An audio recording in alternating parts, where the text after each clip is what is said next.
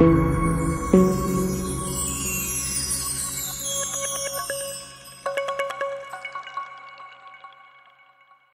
आपके बेसिक्स को हिलाया जाए। Yes eye lens induction in vertebrates ठीक है? वर्टिब्रेट्स में हम आई लेंस इंडक्शन को पढ़ने वाले हैं। वर्टिब्रेट्स कौन से ऑर्गेनिज्म होते हैं? ऑब्वियसली ऑब्वियसली जिसमें कि बैकबोन्स पाए जाते हैं राइट right? या फिर स्केलेटन स्ट्रक्चर्स पाए जाते हैं। उनको हम वर्टिब्रेट के कैटेगरी में डालते हैं तो उन्हीं ऑर्गेनिज्म में हम मेनली लेंस के इंडक्शन को समझने वाले हैं ओके okay. तो ये एक बढ़िया सा पिक्चर है, जो कि आपने अपने ट्वेल्थ लेवल के एटलीस्ट बुक में तो ज़रूर देखा होगा। इलेवन, ट्वेल्थ लेवल में आपने एक प्रॉपर आई का स्ट्रक्चर देखा होगा, जिसमें कि कॉर्निया होता है, रेटिना होता है, लेंस होता है, ठीक है? आज हम इसी लेंस की बात करने वाले हैं। ये जो लेंस बना है ना, जो कि एकदम ट्रांसपेरेंट होता है, और अक्सर लड़कियाँ जो हैं, उस ट्रांसपेरेंट लेंस को जो है कलरफुल लेंस में कन्वर्ट करने की कोशिश करती हैं by applying some artificial lens. तो वो जो लेंस है ना, सारा उसी का कमाल है, ठीक है? तो इसी लेंस को जो है, आज हम पढ़ने वाले हैं। तो द बेसिक से शुरू कर रही हूँ, ठीक है? Most basic part of embryonic vertebrate eye include the retinal pigmented epithelium the neural retina and the lens और हम इसी लेंस के बारे में बात कर रहे हैं। जो बेसिक पार्ट होता है आई का, वो होता है pigmented epithelium retina and lens और हम इसी लेंस की बात करने वाले हैं। While the retinal pigmented epithelium and neuro neural retina arises from the central nervous system and the lens which start out as a lens placard is derive from the non neural ectoderm. तो जो यहाँ पे retina है और साथ ही साथ pigmented epithelium है, वो सेंट्रल नर्वस सिस्टम से अराइज होता है। जबकि जो लेंस है, वो एक्चुअल में नॉन न्यूरल एक्टोडम से अराइज होता है। अब यहाँ पे वर्ड आया एक्टोडम अब यहाँ पे आप थोड़ा कनेक्ट कीजिए किसके बारे में। हमने पढ़ा था गैस्ट्रुला स्टेज में तीन जर्म लेयर फॉर्म होते हैं। एक्टोडम मेसोडम एंड एंडोडम तो आपको याद होगा इन्हीं तीनों जर्म लेयर से मिलके हम बने हैं। हमारी जो लेंस है, वो एक्टोडर्म से मिलके बनी है। इसी के बारे में हम पढ़ने वाले हैं। ठीक है? तो जो लेंस है, वो एक्चुअल में एक्टोडर्म से मिलके बनी है। Lens placode does not form neurons rather it form the transparent lens that focuses incoming light on to the neural retina तो जो लेंस है लेंस बनने का जो प्रोसेस होता है ना, वो एक्चुअल में क्या होता है? मान लीजिए ये एक एक्टोडॉम है, ऐसा पतला सा एक्टोडॉम है। इसको कुछ सिग्नलिंग मिलती है, जिसकी वजह से ये पतला सा एक्टोडॉम क्या हो जाता है? मोटू बन जाता है, कुछ ऐसा। ऐसा। ये जो इतना थिक हो गया है ना, इसी को हम बोलते हैं क्या? दैट इज़ लेंस ब्लैकॉर्ड और यही लेंस प्लेकॉर्ड आगे चल के लेंस बनाने में पार्टिसिपेट करता है। तो लेंस प्लेकॉर्ड जो है न्यूरॉन नहीं बनाता है। इसका मेन काम होता है ट्रांसपेरेंट लेंस को बनाना। और जब लाइट हमारे लेंस पे पड़े, ठीक है तो उसमें प्रोसेसिंग करना ताकि हम चीज़ों को प्रॉपर ढंग से विजुअलाइज कर सकें। फाइन अच्छा एक और चीज़ बता दूँ, जो कि अक्सर देखा जाता है। कुछ बच्चे यहाँ पे जुअलॉजी वाले होंगे, ठीक है? और वो घुमा फिरा के जो है इसमें पूरे जितना जुअलॉजी उन्होंने सीखा होगा, वो सब लगा देंगे। तो मेरी आपसे दरख्वास्त है कि यहाँ पे हम एनाटॉमी नहीं पढ़ रहे हैं। हम यहाँ पे डेवलपमेंट पढ़ रहे हैं लेंस का खाली। तो वो जो बच्चे अपना दिमाग लगाते हैं तो बेचारे बाकी सारे बच्चे कंफ्यूज हो जाते हैं। ठीक है? तो फिर दिक्कत हो जाती है।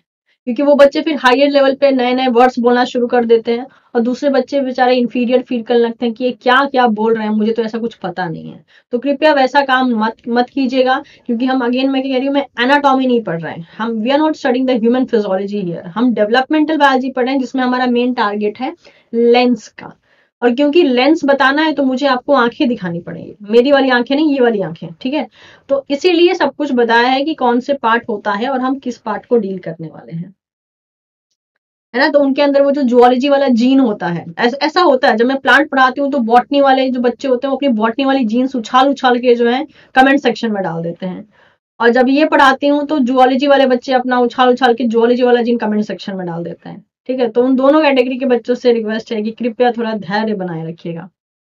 ओके तो चलिए।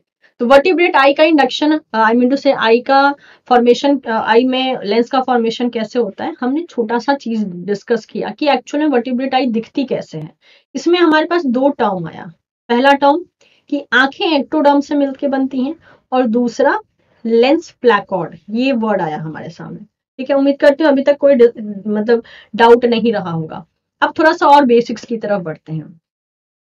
जो वर्टिब्रेट आई का जो इनिशिएशन होता है मेनली उसकी मॉर्फोजेनेसिस जो होती है, यानी जब आई बनने की जो शुरुआत होती है, वो किससे होती है?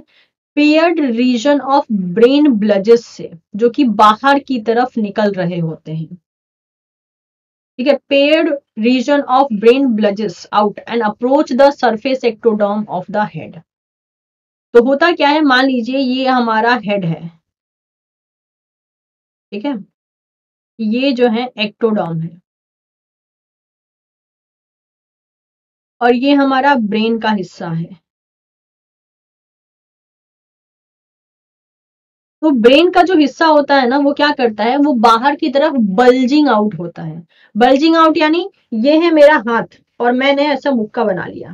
तो मुक्का बनाने की वजह से क्या हुआ? ये जो मेरा हाथ का पूरा पार्ट है, वो बाहर की तरफ़ स्ट्रक्चरल फॉर्म में आने लगा। बल्जिंग आउट का मतलब होता है बाहर की तरफ़ उभार आना। ठीक है? तो ये इस तरीके से जो है, ये ऐसे बल्जिंग होने लगता है इसका।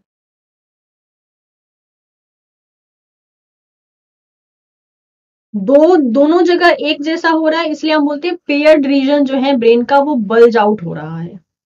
और ये किसकी तरफ़ जा रहा है? जा रहा है किसकी तरफ़? एक्टोडर्म की तरफ़। तो हम कहते हैं it is approaching the surface ectoderm यहाँ पे एक्टोडॉम को हम सरफेस एक्टोडॉम कह सकते हैं हेड एक्टोडॉम कह सकते हैं।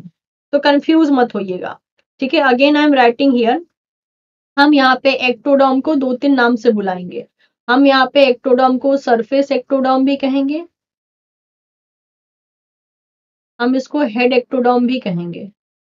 तो कंफ्यूज मत होइए कि मैम कभी आप सरफेस एक्टोडॉम बोल रही हो, कभी आप हेड एक्टोडॉम बोल रही हो और इसको हम नॉर्मली एक्टोडॉम भी कह सकते हैं तो कंफ्यूज नहीं होना है। तो अगेन आई एम रिपीटिंग कि जो पेयर्ड रीजन होता है ब्रेन का, वो बल्जिंग आउट होता है और वो एक्टोडॉम की तरफ़ अप्रोच कर रहा होता है। ठीक है? हेड एक्टोडॉम क्या है? ये जो यहाँ पर हेड एक्टोडॉम है, ये वाला पार्ट ये एक्टोडॉम क्या है? ये एक्टोडर्म कॉम्पिटेंट है। कॉम्पिटेंट यानी कैपेबल है। इसके लिए to respond to the paracrine factor made by these brain bulges और ये जो ब्रेन की बल्जिंग आउट होके जो स्ट्रक्चर बना है ना, इसको हम एक और नाम देते हैं, जिसे हम कहते हैं क्या? ऑप्टिक वेसिकल ये जो ब्रेन की ब्लजिंग हुई है बल्जेस आउट फॉर्म हुए हैं, उनको हम ऑप्टिक वेसिकल कहते हैं। और एक्टोडर्म जो है एक्टोडर्म कॉम्पिटेंट होता है नेचर में। इसीलिए फ्यूचर में जब ये ब्लजेस एक्टोडर्म को कोई पैराक्रैन सिग्नलिंग फैक्टर भेजते हैं तो ये एक्टोडर्म उन सिग्नलिंग फैक्टर को रिसीव कर लेता है। और इसकी यही रिसीव करने की कैपेबिलिटी इसको कॉम्पिटेंट बनाती है। And head ectoderm receiving this paracrine factor is induce to form lens of the eye और ये हेड एक्टोडर्म जब कॉम्पिटेंट होके ये सारे सिग्नलिंग फैक्टर को रिसीव कर लेता है तो आगे चल के यही हेड एक्टोडर्म इंड्यूस होके लेंस में कन्वर्ट हो जाता है। इसलिए हमने कहा था कि यहाँ पे जो लेंस बनेगा उसका नेचर होगा ectoderm although the lens specification is defined much earlier during the neural plate stage actual में लेंस बनने का जो स्पेसिफिकेशन होता है, वो न्यूरल प्लेट जब बन रही होती है हमारी, तभी से ही शुरू हो जाता है। The lens differentiation gene and are induced in a non neural head ectoderm cell by the optic vesicle और जो लेंस को आगे चल के डिफ्रेंशिएट करवाएगा जो जीन जो उसे फंक्शनल देगा, वो सारे जीन जो है ऑप्टिक वेसिकल के द्वारा हेड एक्टोडॉम में एक्टिवेट किए जाते हैं। यानी अगर हम ध्यान दें तो यहाँ पे हमारे पास दो मेन प्लेयर आ गए हैं। मैं एक बार कनेक्ट करती हूँ ताकि जो बच्चे थोड़े बहुत कंफ्यूज हो रहे हैं, उनको, उनका कंफ्यूजन जो है, दूर हो जाए। तो कहानी क्या चल रही है यहाँ पे देखिए। कहानी ये चल रही है कि हमारे पास दो पार्ट है। एक है क्या? एक्टोडॉम ठीक है? और एक क्या है? ब्लजेस ऑफ़ ब्रेन जिसे हम क्या नाम दे रहे हैं? ऑप्टिक वेसिकल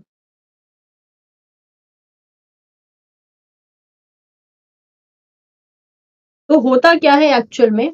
कि ये जो ऑप्टिक वेसिकल है, वो एक्टोडम को कुछ पैराक्राइन फैक्टर भेजता है। पैराक्राइन फैक्टर भेजता है। और ये एक्टोडम क्या करता है?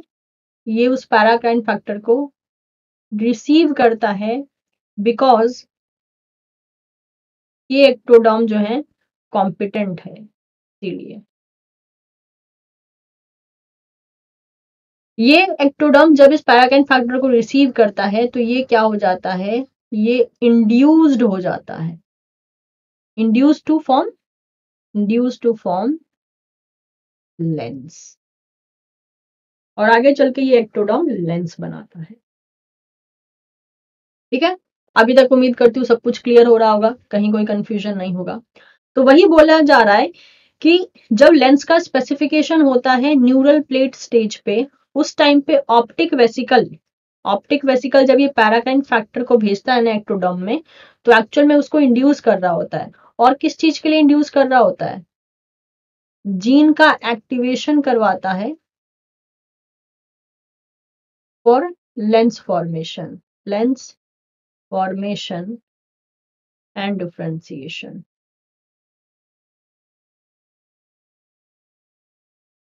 कौन करवाता है ऑप्टिक वेसिकल के द्वारा जो सिग्नलिंग भेजी गई है एक्टोडॉम को तब जाके उस एक्टोडॉम में ऐसी जीन एक्टिवेट होती हैं जो कि लेंस का फॉर्मेशन करवाएँगे और उसका डिफ्रेंसिएशन करवाएँगे।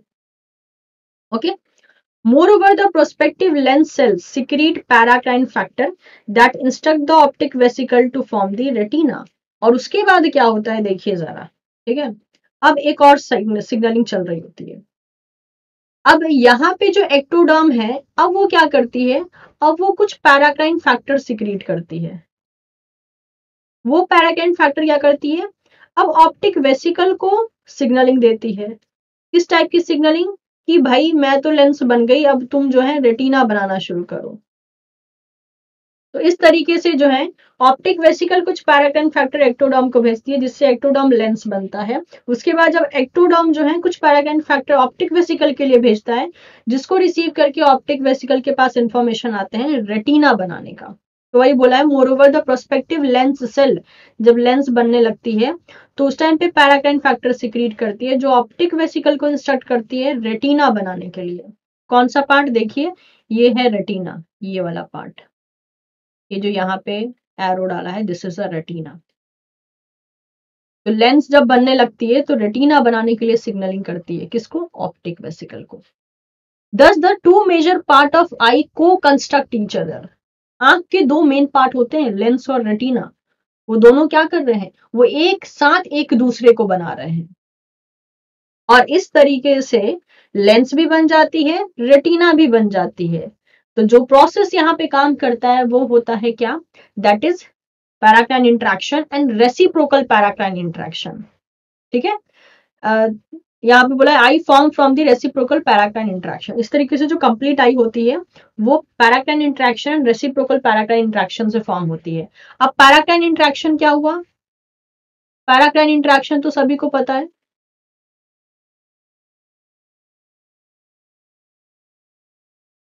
राइट क्या है पैराकाइन इंट्रैक्शन ए ने पैराकाइन फैक्टर भेजा किसके लिए? बी के लिए। और बी ने वो पैराकाइन फैक्टर रिसीव करके रिस्पॉन्ड कर दिया। इनके बीच में डिस्टेंस कम था। ठीक है? लिगेंड एंड रिसेप्टर के बेसिस पे सिग्नलिंग हुई। ये था paracrine interaction reciprocal paracrine interaction क्या होगा? कोई मुझे बताएगा?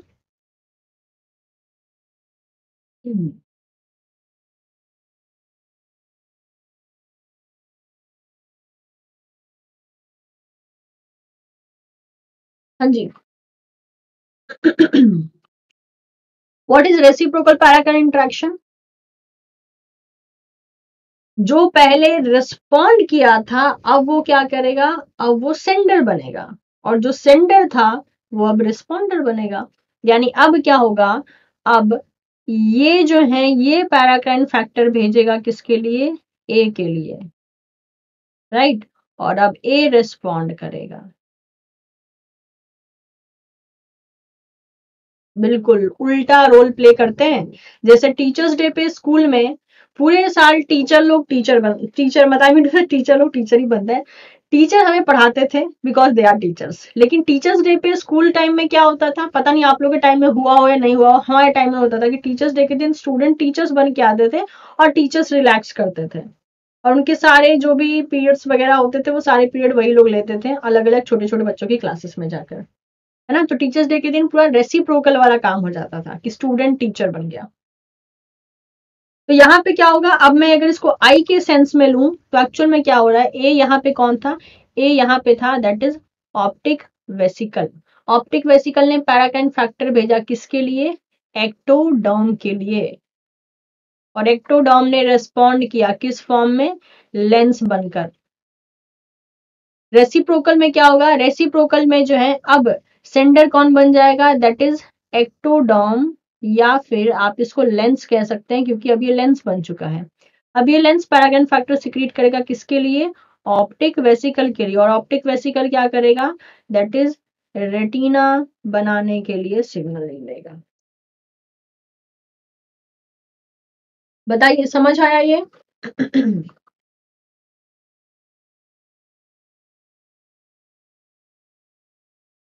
Is this clear guys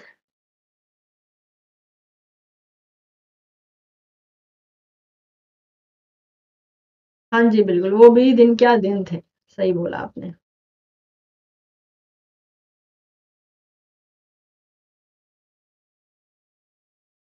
great चलो, यानी सबको सब कुछ समझ में आ रहा है राइट अच्छा। तो लास्ट वाला पॉइंट हम लेंगे। लास्ट वाले पॉइंट से एक प्रोसेस ले लेते हैं पहले। ये जो हमने यहाँ नाम दिया है ना ड्यूरिंग न्यूरल प्लेट स्टेज अब ये न्यूरल प्लेट स्टेज क्या होता है? जरा यहाँ पे रोके अभी ये वाला पॉइंट हमारा होल्ड पे है। न्यूरल प्लेट स्टेज को जरा हम समझ लेते हैं। तो होता क्या है एक्चुअल में देखिए जब भी आ, किसी भी ऑर्गेनिज्म का जन्म होने वाला होता है ठीक है? तो ऑब्वियसली पहले उसका ऑर्गेनोजेनेसिस होगा यानी पूरे ऑर्गन बॉडी में बनेंगे। तो होता क्या है फर्टिलाइजेशन हुआ जाइकोड फॉर्मेशन हुआ, फिर मॉड्यूला स्टेज आया ब्लास्टुला स्टेज आया गैस्टुलेशन स्टेज आया गैस्टुलेशन स्टेज के बाद न्यूरलेशन स्टेज आता है। और इसी न्यूरलेशन स्टेज में एक न्यूरल प्लेट पाई जाती है, कुछ ऐसी। ये न्यूरल प्लेट आगे चल के न्यूरल ट्यूब में चेंज हो जाती है। ठीक है? तो ये रही न्यूरल प्लेट और ये न्यूरल प्लेट देखिए किस तरीके से फोल्ड हो रही है और एक न्यूरल ट्यूब बना रही है। ये देखिए पूरा न्यूरल ट्यूब में कन्वर्ट हो गई। ये जो न्यूरल ट्यूब है, ये आगे चल के सेंट्रल नर्वस सिस्टम बनाती है। ये जो न्यूरलेशन स्टेज था ना, इसी न्यूरलेशन स्टेज पे मेनली आई का डेवलपमेंट होता है। तो न्यूरलेशन स्टेज क्या होता है? The folding process of vertebrate embryo which induces transformation of neural plate to neural tube यानी वर्टिब्रेट एम्ब्रियो में एक ऐसा प्रोसेस होता है जिसमें कि न्यूरल प्लेट जो है ट्रांसफॉर्म होके न्यूरल ट्यूब में बदल जाती है। ऐसे प्रोसेस को हम न्यूरलेशन स्टेज कहते हैं। और इसी स्टेज में, यानी इस न्यूरलेशन स्टेज में ही आई लेंस का भी इंडक्शन स्टार्ट होता है। आई जो है, आई एक बहुत ही स्पेशलाइज्ड एक्सटेंशन है ब्रेन का। क्योंकि आप देख रहे हैं ब्रेन से जो बल्जिंग आउट हो रहा है, वही बल्जिंग आउट स्ट्रक्चर जो है, आगे चल के आई लेंस का फॉर्मेशन कर रहा है और वहीं पे आई बनती है। तो इसीलिए कहा जाता है कि आई जो है ब्रेन का एक स्पेशलाइज्ड एक्सटेंशन है। और ऑप्टिक वेसिकल और एक्टोडर्म किसमें मदद करते हैं? आई लेंस के डेवलपमेंट में मदद करते हैं। ये एक बहुत ही बेसिक स्लाइड है, लेकिन ये बेसिक स्लाइड आपका बहुत कुछ जो है क्लियर करती है। अब हमारे पास जो ये न्यूरल ट्यूब आया है, आप सोचोगे कैसे कैसे कनेक्ट होगा। देखिए, पहले हमारे पास न्यूरल प्लेट था, अब ये न्यूरल ट्यूब बना है न्यूरलेशन प्रोसेस में। अब ये जो न्यूरल ट्यूब आया है ना, इस न्यूरल ट्यूब के दो पार्ट होते हैं। एंटीरियर पार्ट न्यूरल ट्यूब का एंड पोस्टीरियर पार्ट एंटीरियर यानी आगे वाला पार्ट पोस्टीरियर यानी पीछे वाला पार्ट एंटीरियर वाला पार्ट जो होता है न्यूरल ट्यूब का, वो आगे चल के ब्रेन बनाता है. और पोस्टीरियर वाला जो पार्ट होता है, वो स्पाइनल कॉर्ड बनाता है. ये जो ब्रेन का पार्ट बनता है, ये हमारा इंटरेस्ट वाला एरिया है. क्योंकि इसी ब्रेन के पार्ट में जो है, आगे चल के बल्जिंग आउट होता है और वो आगे चल के आई बनाने का काम करता है. ये जो ब्रेन वाला एरिया है, वहाँ पे बहुत से ट्रांसक्रिप्शन फैक्टर एक्सप्रेस होते हैं। जैसे कि हो गया noggin pax six six three R X one ये सारे फैक्टर क्या करते हैं? उस ब्रेन वाले एरिया में एक आई फ़ील्ड का स्पेसिफिकेशन करते हैं। आई फ़ील्ड यानी एक ऐसा फ़ील्ड जहाँ पे आँखें बनेंगी। अब आप में से कोई ऐसा तो है नहीं जो बोले, मैम, मेरी आँखें मेरे पेट से लटक रही हैं, या मेरी आँखें मेरे कंधे पे हैं, मेरी आँखें जो है मेरे गर्दन के पास है। ऐसा नहीं है। सबकी आँखें एकदम प्रॉपर जगह पर है, जो कि है चेहरा और हेड और चिन के बीच में जो एरिया आता है, वहाँ पर है। तो आँखें यहीं पर क्यों बनी? यहाँ पे क्यों नहीं बनी? या यहाँ पे क्यों नहीं बनी? क्योंकि जहाँ पे ये आँखें बनी हैं, वही एरिया आई फ़ील्ड कहलाता है। और ये आई फ़ील्ड डिसाइड करने में ये सारे ट्रांसक्रिप्शन फैक्टर मदद करते हैं। यानी पूरे बॉडी में ये चीज़ डिसाइड होती है कि कौन सा फ़ील्ड आई फ़ील्ड होगा। और आई फ़ील्ड वही एरिया होता है जहाँ पे ये फैक्टर एक्सप्रेस होते हैं। जैसे कि क्रिकेट खेलना है तो आप किचन में जाके क्रिकेट नहीं खेलोगे। या बाथरूम में जाके क्रिकेट नहीं खेलोगे? आप क्रिकेट ग्राउंड में जाओगे। क्योंकि क्रिकेट ग्राउंड एक क्रिकेट का फ़ील्ड है। वहीं पे वो गेम खेला जा सकता है और कहीं पे वो गेम नहीं खेला जा सकता है। बिकॉज़ वहाँ पे आपको जो भी चीज़ रिक्वायरमेंट होती है, उस गेम को प्रॉपर ढंग से खेलने के लिए वो सभी चीज़ें एक ओपन ग्राउंड में अवेलेबल होती हैं।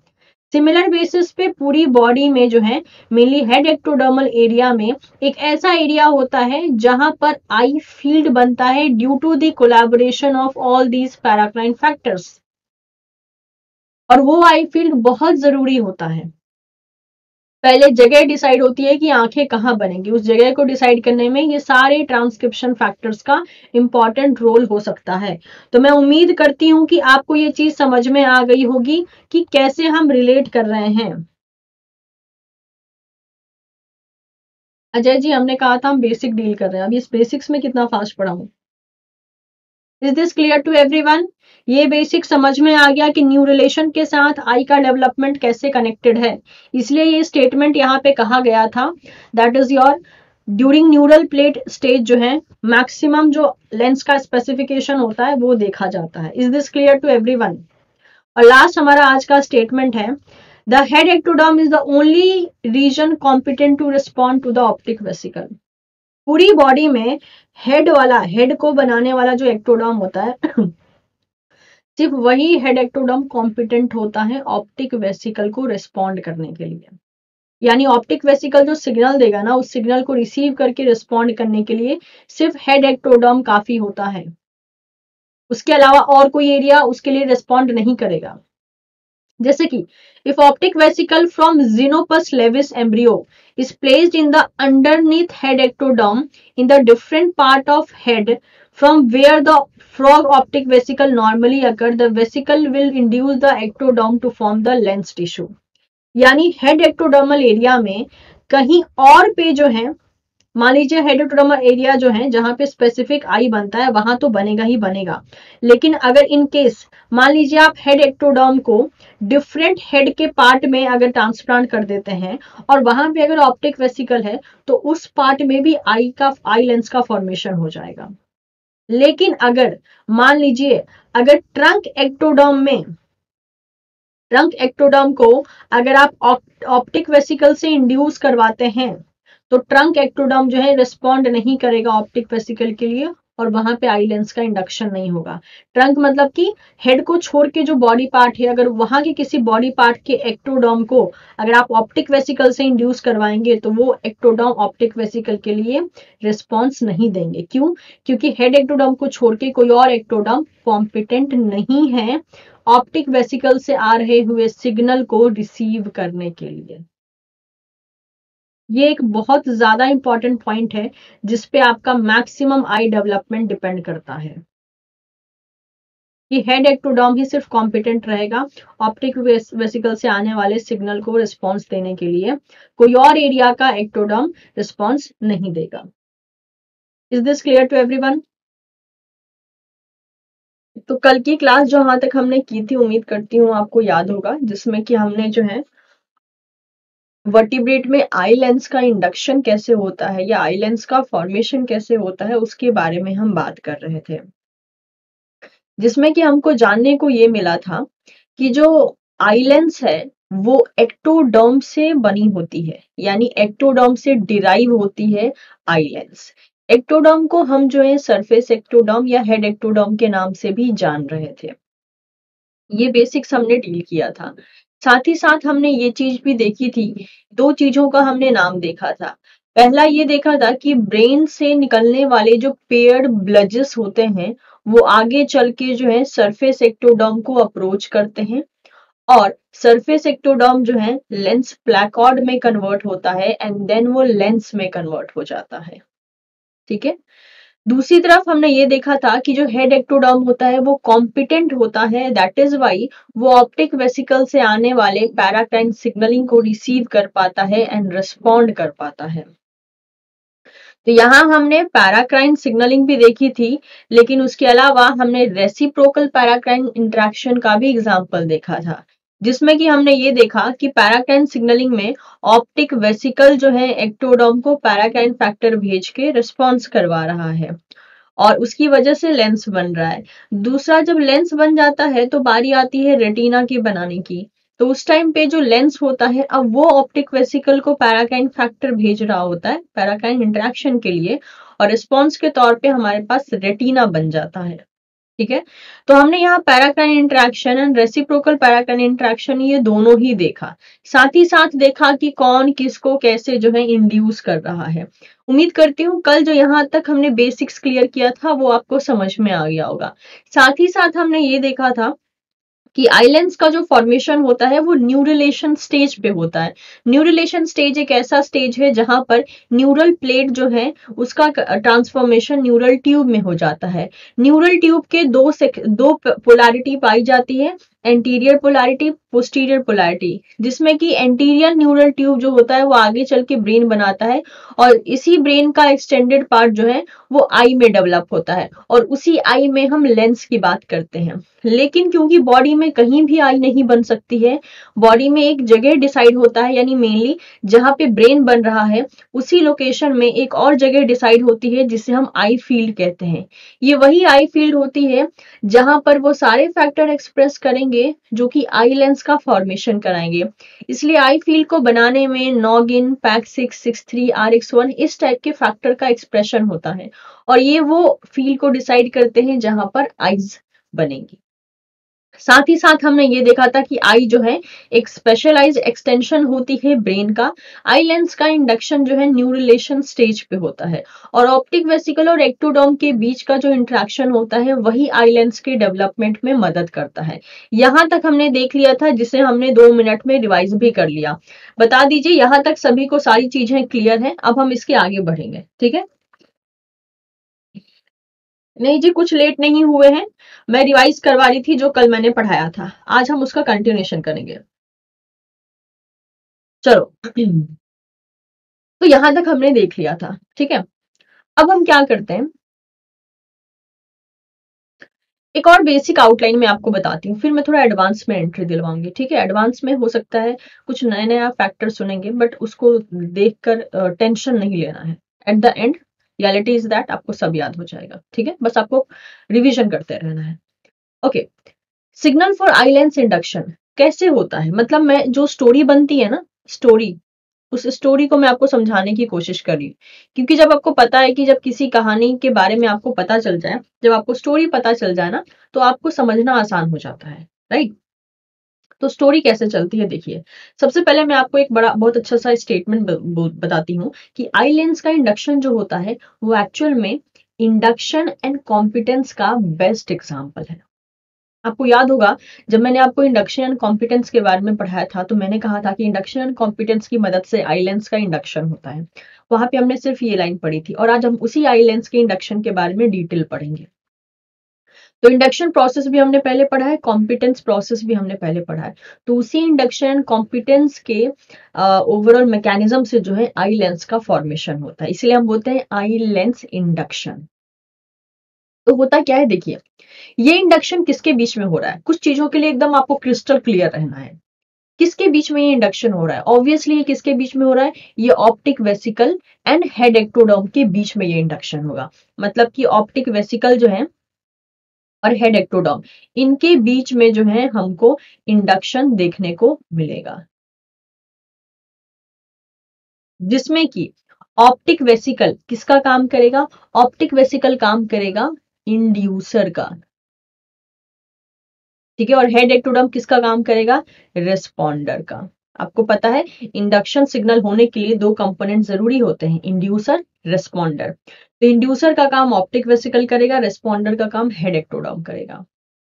इन दोनों के बीच में जो इंडक्शन होगा, उसकी वजह से क्या होगा, जो आउटर एक्टोडॉम है, जिसे हम हेड एक्टोडॉम कह रहे हैं सरफेस एक्टोडॉम है, इसमें क्या होगा, इसमें होगा डिफ्रेंसिएशन इस डिफ्रेंसिएशन की वजह से जो है, जो एक्टोडर्मल सेल है, वो डिफ्रेंशिएट होके लेंस प्लैकॉर्ड में कन्वर्ट हो जाएगी। और मैंने आपको कहा था कल लेंस प्लैकॉर्ड क्या होता है? एक अलग तरीके से थिकनिंग हो जाती है एक्टोडॉम की, उसे हम लेंस प्लैकॉर्ड कहते हैं।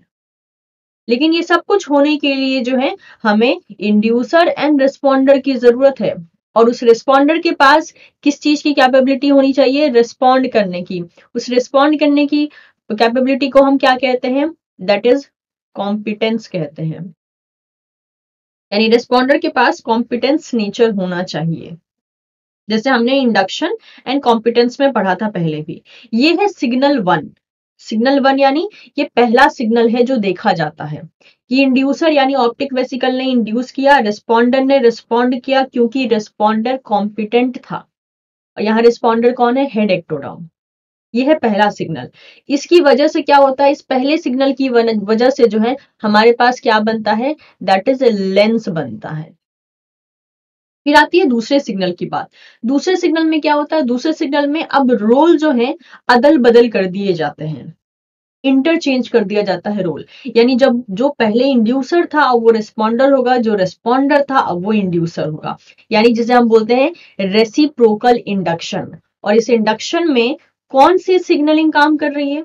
हाँ जी, कोई मुझे बताएगा? हम इसे कह तो रहे हैं इंडक्शन लेकिन इस इंडक्शन में कौन सी सिग्नलिंग काम कर रही है? Yes that is paracrine signalling काम कर रही है राइट right? तो इस इंडक्शन में पैराक्राइन सिग्नलिंग काम करिए, इसीलिए आप रेसिप्रोकल इंडक्शन भी कह सकते हैं रेसिप्रोकल पैराक्राइन इंट्रैक्शन भी कह सकते हैं, ठीक है? तो अब जो रेसिप्रोकल इंडक्शन होगा, उसमें क्या होगा? उसमें जो है इंड्यूसर अब खुद इंड्यूस होगा, यानी ऑप्टिक वेसिकल अब रिस्पॉन्डर की तरह काम करेगा। और रिस्पॉन्डर क्या बन जाएगा? इंड्यूसर बन जाएगा, यानी लेंस जो है वो इंड्यूसर होगा और ऑप्टिक वेसिकल जो है रिस्पॉन्डर होगा। और इस सेकेंड सिग्नल की वजह से क्या बनता है? दैट इज़ रेटिना बन जाता है। और यहाँ पर किसकी यहाँ पर रोल हो रहा होता है? मेनली गैसुलेशन प्रोसेस में जो हमारे पास तीन जॉम लेयर आई थी एंडोडम मेसोडम एक्टोडम उनमें से जो एक्टोडम होती है, वो लेंस बनाने का काम करती है। तो the lens is from from the outer skin और एक्टोडम ऑफ़ द हेड तो कभी कभी ये दो मार्क्स में क्वेश्चन आता है, ठीक है? ये पार्ट बी में जो है पार्ट बी में ये क्वेश्चन आ सकता है कि जो लेंस होती है, वो किससे डिराइव होती है? कौन सी जॉम लेयर से डिराइव होती है? तो your answer will be ectoderm क्या ये स्लाइड सभी को क्लियर है? हाँ जी। सिग्नल की स्लाइड सभी को क्लियर है कि किस तरीके से सिग्नल काम कर रहा है?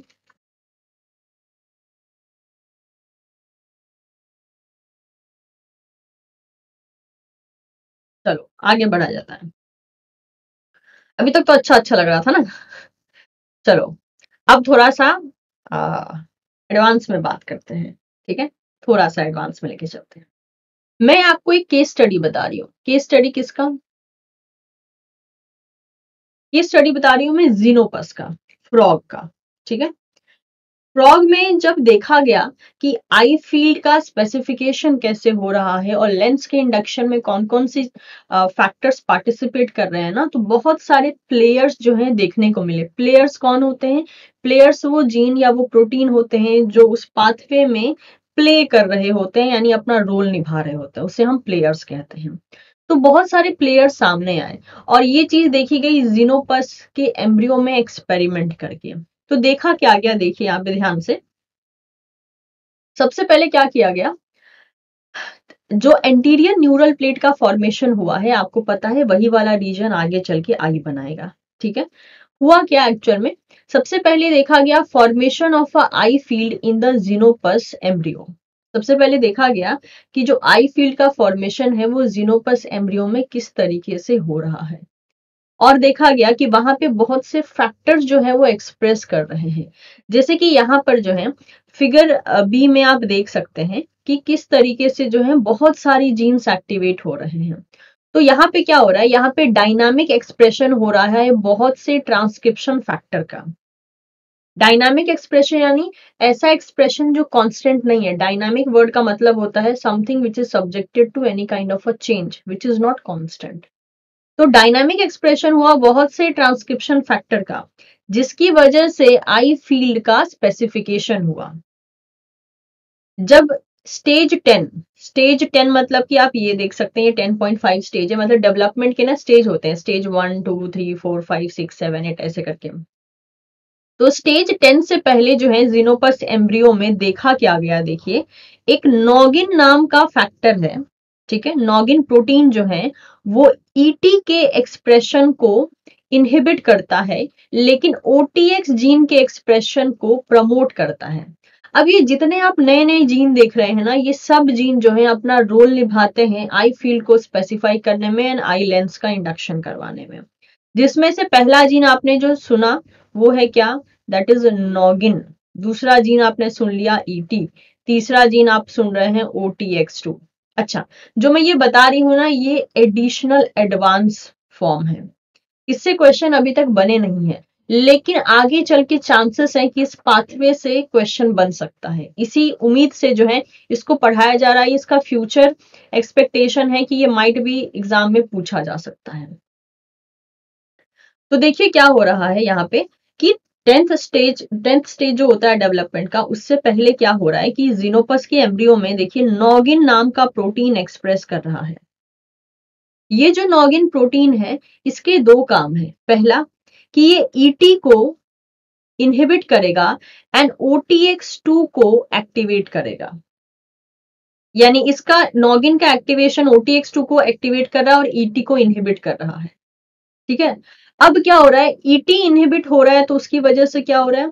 OTX protein then block the inhibition of ET जैसे ही ओटीएक्स एक्टिवेट हो रहा है, वो क्या कर रहा है? नॉगिन के द्वारा ईटी e को इनहिबिट करने वाले पाथवे को देखिए, यहाँ पर वो इनहिबिट कर दे रहा है। यानी नॉगिन ने ओटीएक्स को एक्टिवेट करवाया और नॉगिन ने ईटी e को इनहिबिट किया। ओटीएक्स टू एक्टिवेट होते ही क्या कर रहा है? नॉगिन को बोला है कि, भाई तू रुक जा प्लीज़ तू ईटी को जो है इनहिबिट मत कर। ठीक है? यानी वो ये कैसे कर रहा है? OTX protein block the inhibition of ET by noggin signalling noggin के सिग्नलिंग को बंद कर दे रहा है ओटीएक्स टू और ईटी के एक्टिवेशन को बढ़ा दे रहा है। जिसकी वजह से क्या हो रहा है? ईटी ट्रांसक्रिप्शन फैक्टर जो है, ये एक्टिवेट कर रहा है आरएक्स जीन को। ईटी e जो है, देखिए, अब क्या हो गया है? ईटी e यहाँ पे एक्टिवेटेड रह रहा है क्योंकि इसको जो नॉगिन एक्टिवेट इसको जो नॉगिन इनहिबिट कर रहा था, उस इनहिबिशन को ओटीएक्स टू ने रोक दिया। अब ईटी e यहाँ पे एक्टिवेट हो जाता है। ईटी e एक्टिवेट होने के बाद क्या करता है? ये आर एक्स वन जीन को एक्टिवेट करता है। ये सब जीन्स हैं, ठीक है? यहाँ पे आर एक्स वन जीन को एक्टिवेट करता है। आर एक्स वन जीन क्या करता है? Which encode a transcription factor R X one gene भी एक ट्रांसक्रिप्शन फैक्टर बनाता है, जो क्या करता है? जो आगे चल के ब्लॉक करता है ओटीएक्स टू को। देखिए आर एक्स वन जैसे ही एक्टिवेट हुआ, देखिए इसका इनहिबिशन इफ़ेक्ट कहाँ गया? ओटीएक्स टू पे। तो देखते हैं कैसा काम चल रहा है। नॉगिन ने ओटीएक्स को एक्टिवेट करवाया। ओटीएक्स एक्टिवेट होने के बाद नॉगिन के सिग्नलिंग को ही रोक रहा है ताकि वो ईटी e को इनहिबिट ना करे। और ईटी एक्टिवेट होकर आर एक्स वन को एक्टिवेट करा रहा है, जो कि ईटी ओटीएक्स टू की वजह से एक्टिवेट हुआ था। और जब ईटी e एक्टिवेट हुआ तो उसने आर एक्स वन को एक्टिवेट किया और आर एक्स वन ने ओटीएक्स टू को इनहिबिट कर दिया। इस सब की वजह से क्या होता है? इस सब की वजह से जो है फाइनल एक्सप्रेशन होता है पैक्स सिक्स का। ठीक है? पैक सिक्स जीन का जब एक्सप्रेशन होता है तो पैक सिक्स प्रोटीन क्या करती है? ये प्रोटीन इनिशिएटेड इनिशिएट करती है कैस्केड ऑफ़ जीन एक्सप्रेशन जो कि कंस्टिट्यूट करता है आई फ़ील्ड को। यानी ऐसे फैक्टर्स का एक्टिवेशन करवाती है, जैसे कि हो गया सिक्स थ्री का एक्टिवेशन टी डबल एल का activation L H X two का एक्टिवेशन इन सब के एक्टिवेशन की वजह से क्या होता है? दैट इज़ आई फ़ील्ड जो है कंस्ट्रक्ट होता है। और जब आई फ़ील्ड कंस्ट्रक्ट होगा तो वहीं पे आई बनने का काम होगा। ठीक है? अब यहाँ पे जिन फैक्टर्स का एक्टिवेशन है ना, वो देखिए कैसे एक्टिवेशन है वो म्यूचुअल एक्टिवेशन है। मान लीजिए पैक सिक्स ने सिक्स थ्री को एक्टिवेट कराया सिक्स थ्री बदले में क्या करती है? फिर से पैक सिक्स को पॉजिटिव इन्फ्लुएंस देती है कि भाई तू भी एक्टिवेट हो, तू भी एक्टिवेट रहे। ठीक है? सिक्स थ्री एक्टिवेट होती है तो टी डबल एल को एक्टिवेट करती है। फिर टी डबल एल वापस से जो है सिक्स थ्री को करता है। उसके बाद जो है एल एक्स टू के साथ भी सेम टू सेम रिएक्शन है।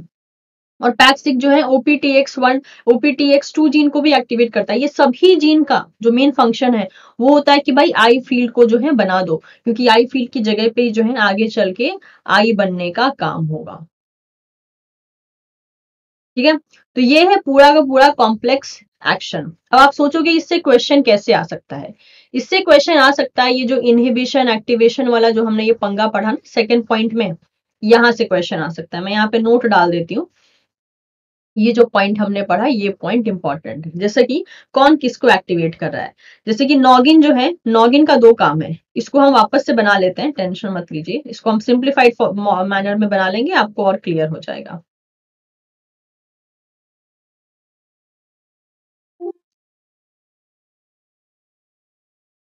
यहाँ पे हो क्या रहा है? यहाँ पे हमने दो काम देखा। दैट इज़ नॉगिन जो है, ये दो काम कर रहा है। पहला, ये ओ टू को एक्टिवेट कर रहा है और दूसरा, ये ET को इनहिबिट कर रहा है। ये चीज़ तो सबको समझ में आ गई होगी। ठीक है, हम समरी ले रहे हैं। जिनको भी जिनको भी जहाँ पे मिस हुआ, जो बच्चे मिस कर गए, उनके लिए। ठीक है, हम समरी ले रहे हैं। नॉगिन का इनिशियल टाइम में जो है नॉगिन का एक्टिवेशन होता है, जो ओ टू को एक्टिवेट करता है और ET को इनहिबिट करता है। लेकिन आगे चल के क्या होता है? आगे चल के क्योंकि OTX2 जो है OTX2 एक्टिवेट हुआ है तो OTX2 क्या करता है? इस इनहिबिशन पाथवे को इनहिबिट कर देता है। बोलता है, नॉगिन भाई, तू रुक जा प्लीज़ तू ईटी e को जो है इनहिबिट मत कर। ईटी एक्टिवेट होके क्या करता है? ईटी एक्टिवेट होके ये आर एक्स वन जीन को एक्टिवेट करता है, जो कि आगे चल के ट्रांसक्रिप्शन फैक्टर को कोड करता है। R X one gene activate हो गया तो अब वो बोलता है कि ईटी e भाई मैं, मुझे एक्टिवेट कर दिया तूने, अब प्लीज़ तू रुक जा।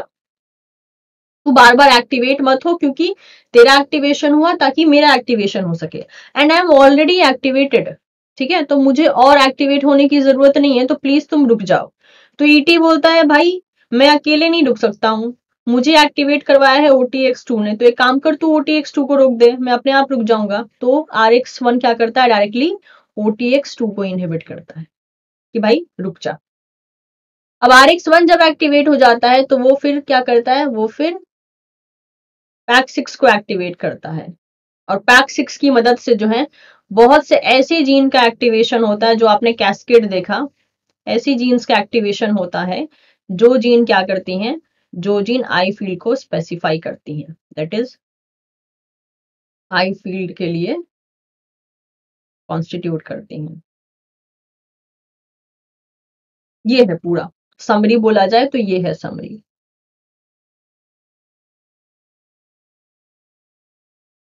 और कुछ नहीं है। देखिए, यही है वो जो हमने यहाँ बनाया है।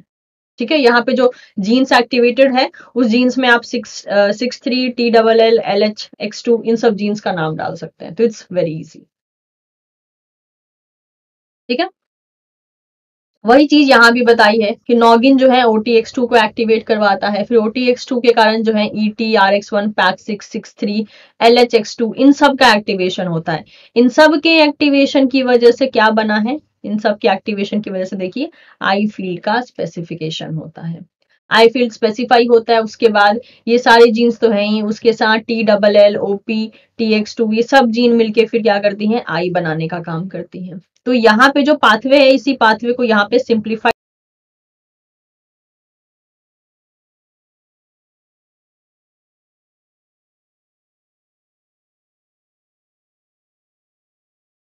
तो coming back to the main topic हमने ये देखा था कि नॉगिन टू को एक्टिवेट करवाता है।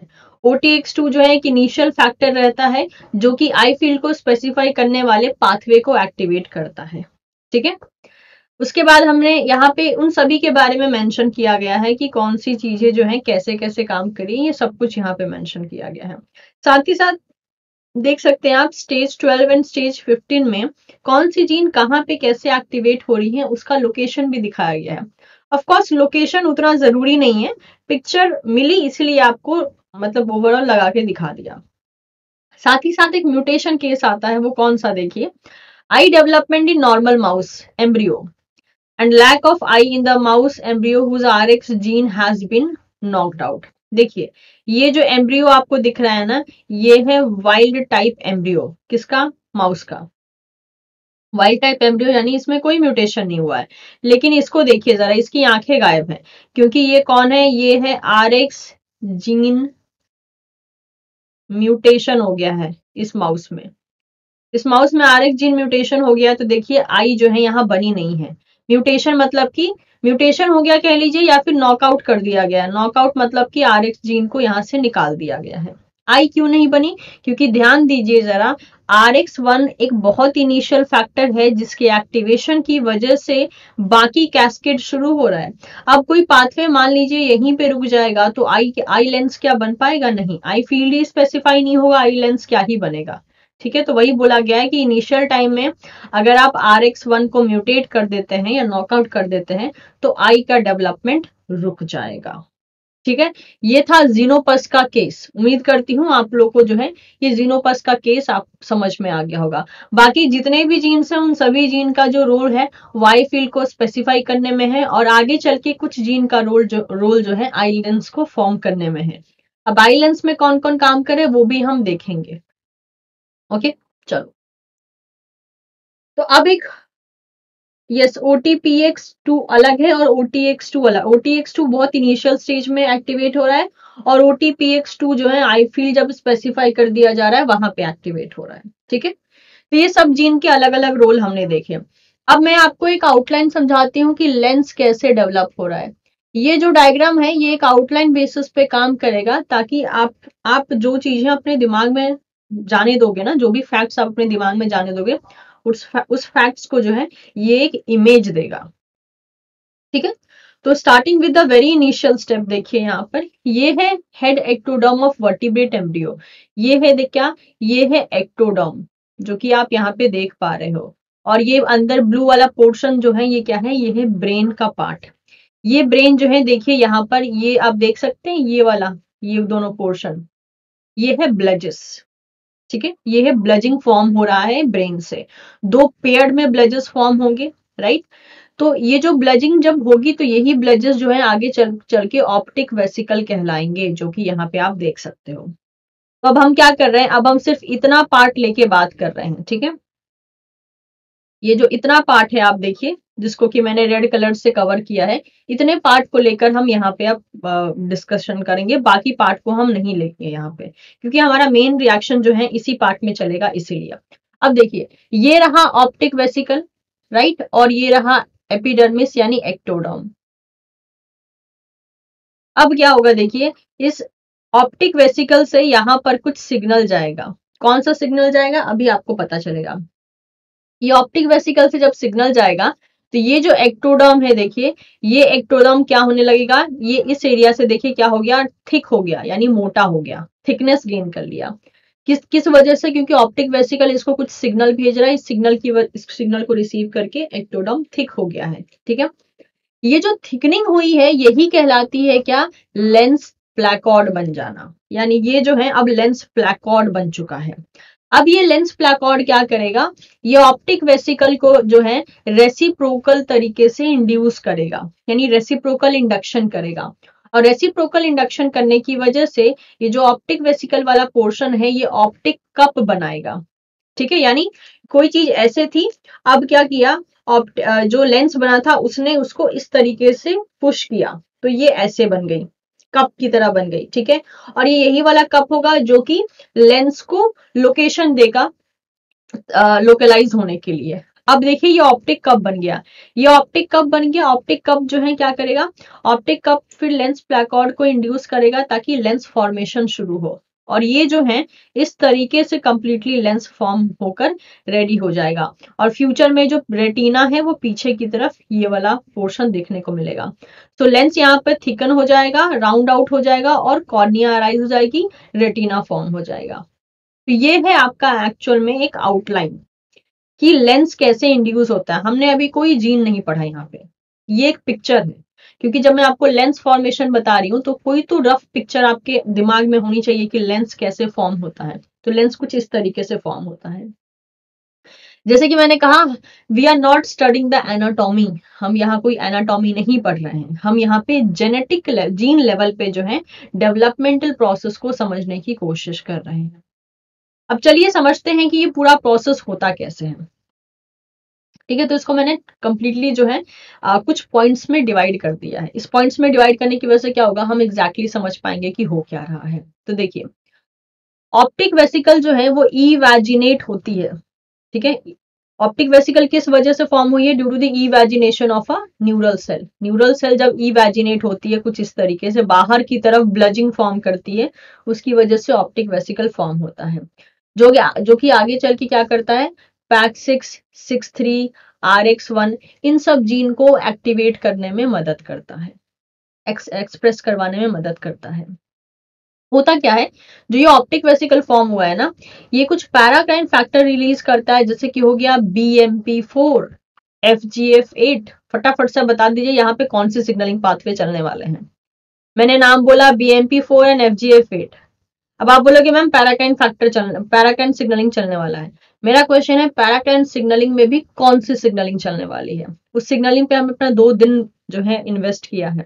अब स्पेसिफिक नाम बताइए कि अगर यहाँ बी एम पी फोर काम करेगा और एफ़ जी एफ़ एट काम करेगा तो एक्चुअल में यहाँ पर स्पेसिफिक तरीके से किस टाइप की पैराकाइन सिग्नलिंग चलने वाली है? मुझे पता था आप लोग पैराकाइन जवाब देंगे, इसलिए मैंने पूछा पैराकाइन में कौन सा टाइप चलने वाला है? Exactly exactly. यहाँ पर टीजीएफ बीटा पाथवे चलेगा और फाइब्रोब्लास्ट ग्रोथ फैक्टर वाला पाथवे चलेगा, यानी आरटीके पाथवे चलेगा। ठीक है? अब समझ में आ रहा होगा आपको कि हम कैसे कनेक्ट करने वाले हैं। इसलिए उस टाइम पे आपको अलग से पढ़ाया गया था। तो पैरागैन फैक्टर यहाँ पे बी फोर और एफ़ एट जो है, वो ऑप्टिक वेसिकल के द्वारा रिलीज़ किया जाएगा। और रिसीव कौन करेगा? हेड एक्टोडॉम जो कि फ्यूचर में चल के लेंस बनने वाला है। ठीक है? अब क्या होगा? सॉक्स टू जो कि ट्रांसक्रिप्शन फैक्टर है, ये प्रोड्यूस किया जाएगा हेड एक्टोडर्म में due to the formation of BMP four यानी ऑप्टिक वेसिकल जो बीएमपी फोर को भेज रहा है, कहाँ पे? एक्टोडर्म में। और वो एक्टोडॉम इस बीएमपी फोर को रिसीव करके वहाँ पे टीजीएफ बीटा सिग्नलिंग करवा रहा है। उस टीजीएफ बीटा सिग्नलिंग के कारण जो ट्रांसक्रिप्शन फैक्टर बनेगा ना, वो होगा सॉक्स टू ठीक है? एक काम करते हैं, हम जो यहाँ पे बोलते जा रहे हैं ना, उसको हम एक पिक्चर दे देते, एक पिक्चर के फॉर्म में भी बनाते चलते हैं। देखिए तो हम क्या कह रहे हैं? यहाँ पे बात हो रही है let's assume that this is a optic vesicle this is optic vesicle. And let's consider that this is a ecto down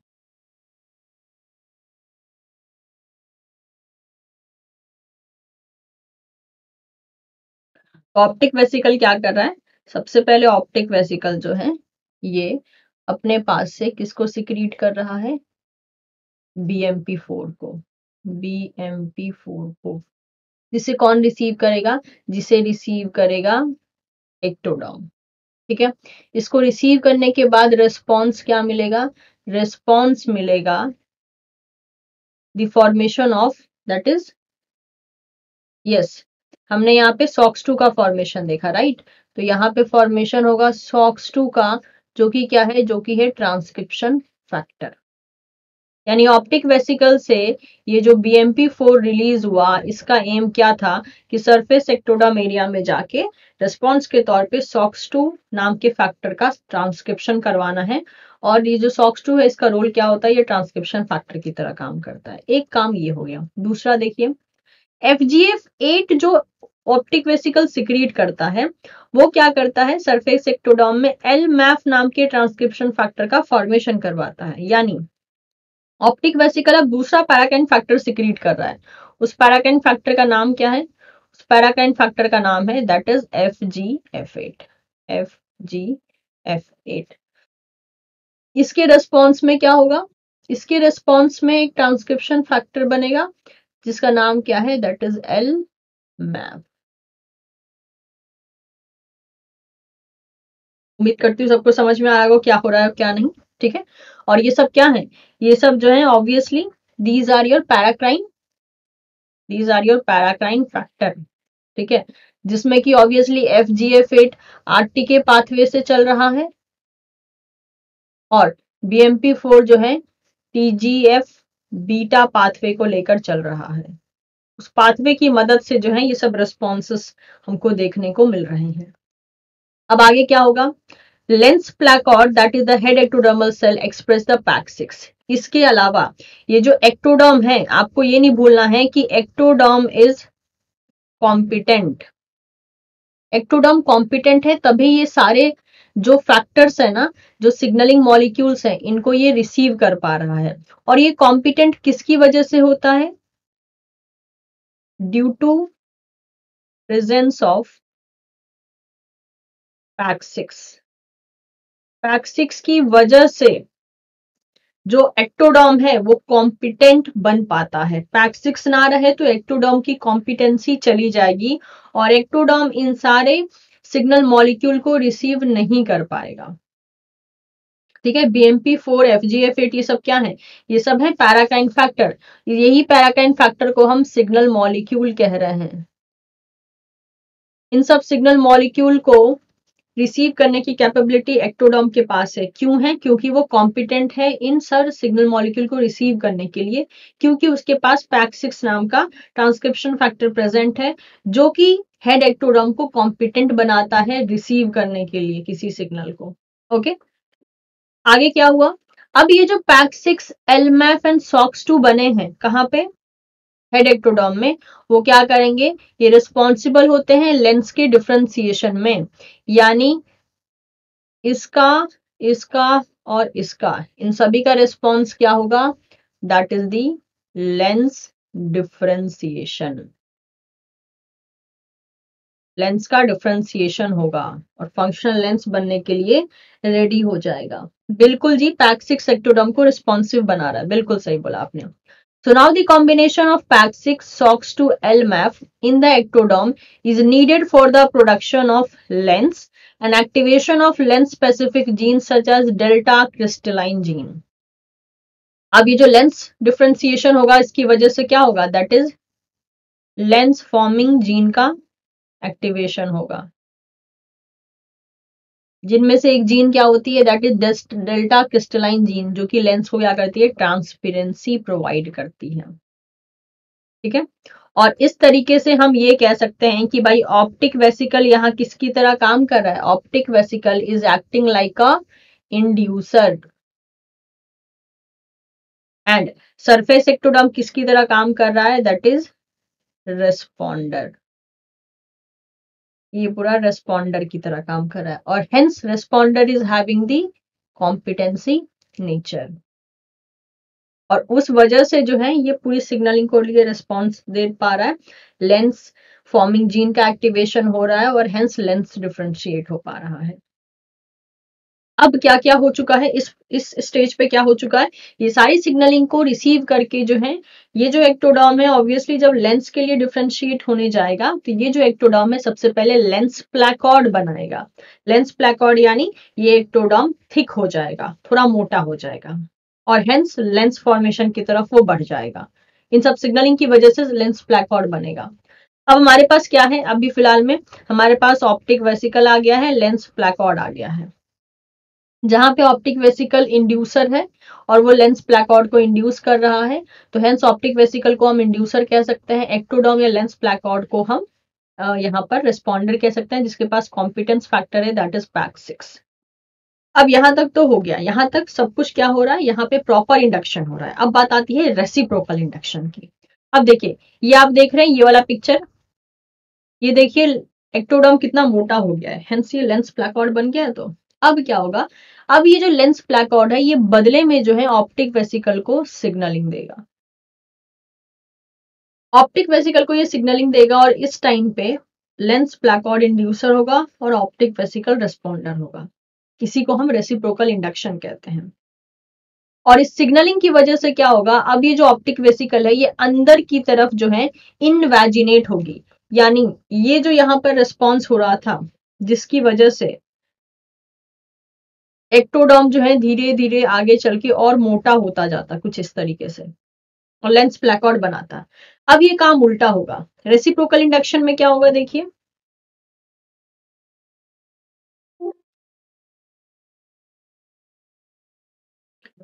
reciprocal induction में कुछ इस तरीके से होगा कि भाई ये रहा। ये है क्या? ये है लेंस प्लेकॉर्ड ठीक है? और यहाँ पे क्या था? यहाँ पे था ऑप्टिक वेसिकल तो अब ऑप्टिक वेसिकल को क्या करेगा? पहले ऑप्टिक वेसिकल बाहर की तरफ़ इवेजिनेट करके रखा था। अब ये अंदर की तरफ़ कुछ ऐसे इनवेजिनेट होने लगेगा इस तरीके से। ये है ऑप्टिक वेसिकल क्यों? क्योंकि ये इसको सिग्नलिंग देते जा रहा है। सिग्नलिंग देने की वजह से क्या हो रहा है? ये अंदर की तरफ़ जो है इनवेजिनेट कर रहा है। और इनवेजिनेट क्या करेगा? ये जो है कप लाइक स्ट्रक्चर बना देगा। कौन? ऑप्टिक वेसिकल वही चीज़ यहाँ पे बोली गई है। ऑप्टिक वेसिकल इनवेजिनेट करेगा ताकि ये बाई लेयर स्ट्रक्चर फॉर्म कर सके, एक अंदर वाला और एक बाहर वाला। ये वाला अंदर वाला लेयर और ये वाला बाहर वाला लेयर ठीक है? और इस तरीके से इनर एंड आउटर लेयर बनेगी। इनर लेयर जो है, यानी अंदर वाली, ये वाली लेयर ये वाली लेयर जो है, ये आगे चल क्या बनाएगी? रेटिना बनाएगी। और आउटर लेयर जो है, वो optic nerve and pigmented layer बनाएगी। और इस तरीके से करके ये वाला जो पोर्शन है, ये वाला ये वाला पोर्शन ये वाला पोर्शन जो है, ये आई लेंस बन के इस तरीके से रेडी हो जाएगा। तो ऑप्टिक वेसिकल जो है, ये ब्रेन का एक आउटग्रोइंग पोर्शन होता है, जो कि सरफेस एक्टोडर्म के साथ कांटेक्ट करता है, उसके साथ एक सिग्नलिंग बनाता है, जिसकी वजह से लेंस प्लेकॉर्ड बनता है। लेंस प्लेकॉर्ड फिर बदले में ऑप्टिक वेसिकल को फिर से इंड्यूस करता है, जिससे कि ऑप्टिक कप बनता है? दो लेयर बनती है inner and outer inner layer retina का फॉर्मेशन करती है, और जो कप बनता है, वही एक ऐसा लोकेशन होता है, जहाँ पे आके लेंस अपने आप को प्लेस करता है। और इस तरीके से जो है, आपका कंप्लीट लेंस बन के रेडी होता है। तो ये था पूरा का पूरा process on the basis of gene की कौन सी जीन किस तरीके से काम कर रही है। बताइए क्लियर हो गया? अब यहाँ पे यही वाली पिक्चर जो है बुकिश फॉर्म में भी आप देख सकते हैं। वैसे तो यहाँ पे बहुत कुछ नाम मेंशन है बट इतने नाम पे फोकस करने की ज़रूरत नहीं है, क्योंकि एक एनाटॉमिकल पिक्चर है, ठीक है? लेकिन आपको दिखाना चाहते हैं कि एक्चुअल में पिक्चर दिखता कैसे है। देखिए, ये रहा ऑप्टिक वेसिकल ठीक है, ये रहा लेंस प्लाकॉर्ड ये आप देख सकते हैं किस तरीके से इंडक्शन हो रहा है। फिर आगे चल के ये बना ऑप्टिक कप ऑप्टिक कप वाला एरिया अंदर की तरफ़ देखिए इन्वेजिनेट हुआ और ये पहला वाला जो फ़र्स्ट लेयर था, वो बना रेटिना और ये वाला जो लेंस वाला पार्ट है, देखिए अंदर की तरफ़ कैसे ये इन्वेजिनेट हो रहा है। और आगे चल के जो है, यही वाला पोर्शन देखिए, ये बन गया लेंस ठीक है? और ये पीछे वाला पोर्शन बन गया दैट इज़ योर रेटिना और आगे वाला पोर्शन ऑब्वियसली कॉर्नी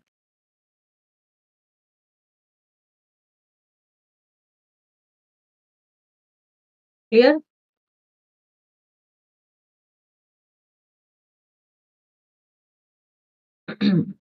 तो एक्चुअल में तीन स्टेप में आई लेंस का डेवलपमेंट हुआ, पहला। आई फ़ील्ड डिसाइड हुआ और ऑप्टिक वेसिकल का फॉर्मेशन हुआ। आई फ़ील्ड किस वजह से डिसाइड हुआ? जो हमने स्टार्टिंग में देखा था आपका जीनोपस का केस वो सारे फैक्टर्स को हम आई फ़ील्ड डिसाइडिंग फैक्टर में ले सकते हैं। फिर ऑप्टिक वेसिकल का फॉर्मेशन हुआ कैसे? जो ब्रेन एरिया था, उस ब्रेन से जो है कुछ बल्जिंग आउट स्ट्रक्चर बने जो कि ऑप्टिक वेसिकल बनाया। फिर फॉर्मेशन हुआ लेंस प्लैकॉर्ड का, जो कि ऑप्टिक वेसिकल के सिग्नलिंग की वजह से पैराकाइन सिग्नलिंग की वजह से हुआ। और लास्ट में क्या हुआ? फिर ऑप्टिक वेसिकल लेंस प्लेकॉर्ड के बीच में जो इंट्रैक्शन हुआ, उसकी मदद से फाइनल लेंस और रेटिना बन के रेडी हुआ। जी ऑप्टिक कब जो यहाँ पे फॉर्म हुआ है, देखिए। ऑप्टिक जो यहाँ पे ऑप्टिक वेसिकल जो अंदर की तरफ़ ऑप्टिक वेसिकल जो है, अगर मान लीजिए ये ऑप्टिक वेसिकल है तो ये अंदर की तरफ़ कुछ इस तरीके से लेयर करता है। इस स्ट्रक्चर को हम बोलते हैं, इस प्रोसेस को हम बोलते हैं कि ऑप्टिक वेसिकल जो है अंदर की तरफ़ इनवाजिनेट होता है। जब ये इनवाजिनेट होता है तो टोटल दो लेयर बनती है, एक इनर एक आउटर इनर लेयर जो है, आगे चल के रेटिना बनाने का काम करती है।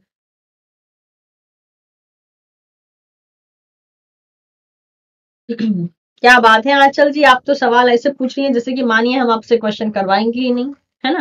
मैम क्वेश्चन कैसे आते हैं इस टाइप से? भाई करेंगे तो। पहले पढ़िए, उसके बाद क्वेश्चन भी करेंगे। आइडिया मिलेगा कैसे क्वेश्चन आते हैं? देखिए क्वेश्चन पे फोकस करेंगे तो कंसेप्ट कितना गेन करेंगे पता नहीं। और कंसेप्ट आपसे गेन भी होगा या नहीं, ये भी पता नहीं। बट कंसेप्ट पे फोकस करेंगे तो फॉर श्योर क्वेश्चन ज़रूर सॉल्व होगा। है ना? तो आपका जो विजन है वो हमेशा लर्निंग uh, ओरिएंटेड रहना चाहिए ना कि क्वेश्चन ओरिएंटेड आजकल मैं बच्चों में जो बिहेवियर देख रही हूँ ऐसा है कि मान लीजिए मैं कोई एक टॉपिक है और मैं उसको पढ़ा दूँ ये कह के कि ये सी एस आर का मोस्ट इंपॉर्टेंट टॉपिक है और हंड्रेड परसेंट श्योर है कि इससे क्वेश्चन आएगा। यकीन मानिए सब बच्चा पढ़ेगा उसको। ठीक है? लेकिन सेम उसी टॉपिक को मैं अगर एक बोलते ना केस स्टडी आपके सामने रखूँ और मैं उसी टॉपिक को कह दूँ कि बेटा ये किसी एग्ज़ाम ये जो है सी एस आर एग्ज़ाम का पार्ट नहीं है। तो यकीन मानिए, हार्डली दो से तीन बच्चे इंटरेस्टेड होंगे उसके बारे में जानने के लिए और कोई और बच्चा इंटरेस्टेड नहीं होगा।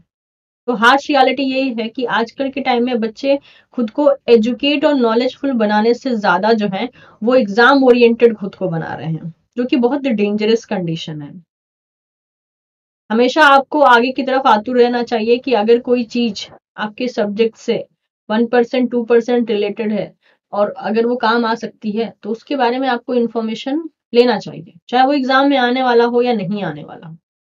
बट आजकल बच्चे नहीं, ऐसा नहीं करते। उनको चाहिए कि क्वेश्चन आएगा, यानी सीधी बात नो बकवास वाला चीज़। ठीक है मैम क्वेश्चन आएगा इससे, नहीं आएगा मत पढ़ाओ, आगे बढ़ो।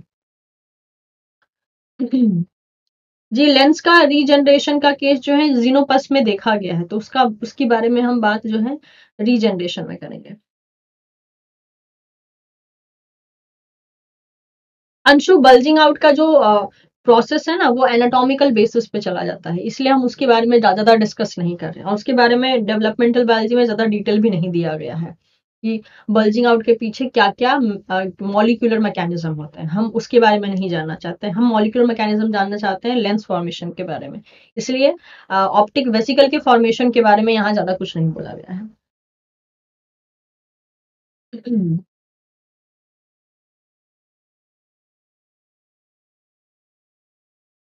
तो हमने ये देख लिया कि आई फ़ील्ड स्पेसिफाई होता है, जिसमें कि हमने देखा था O T X two E T R X one Pax six Sox three ये सब जीन का हमने अपना रोल देखा था, जिससे कि आई फ़ील्ड स्पेसिफाई होती है।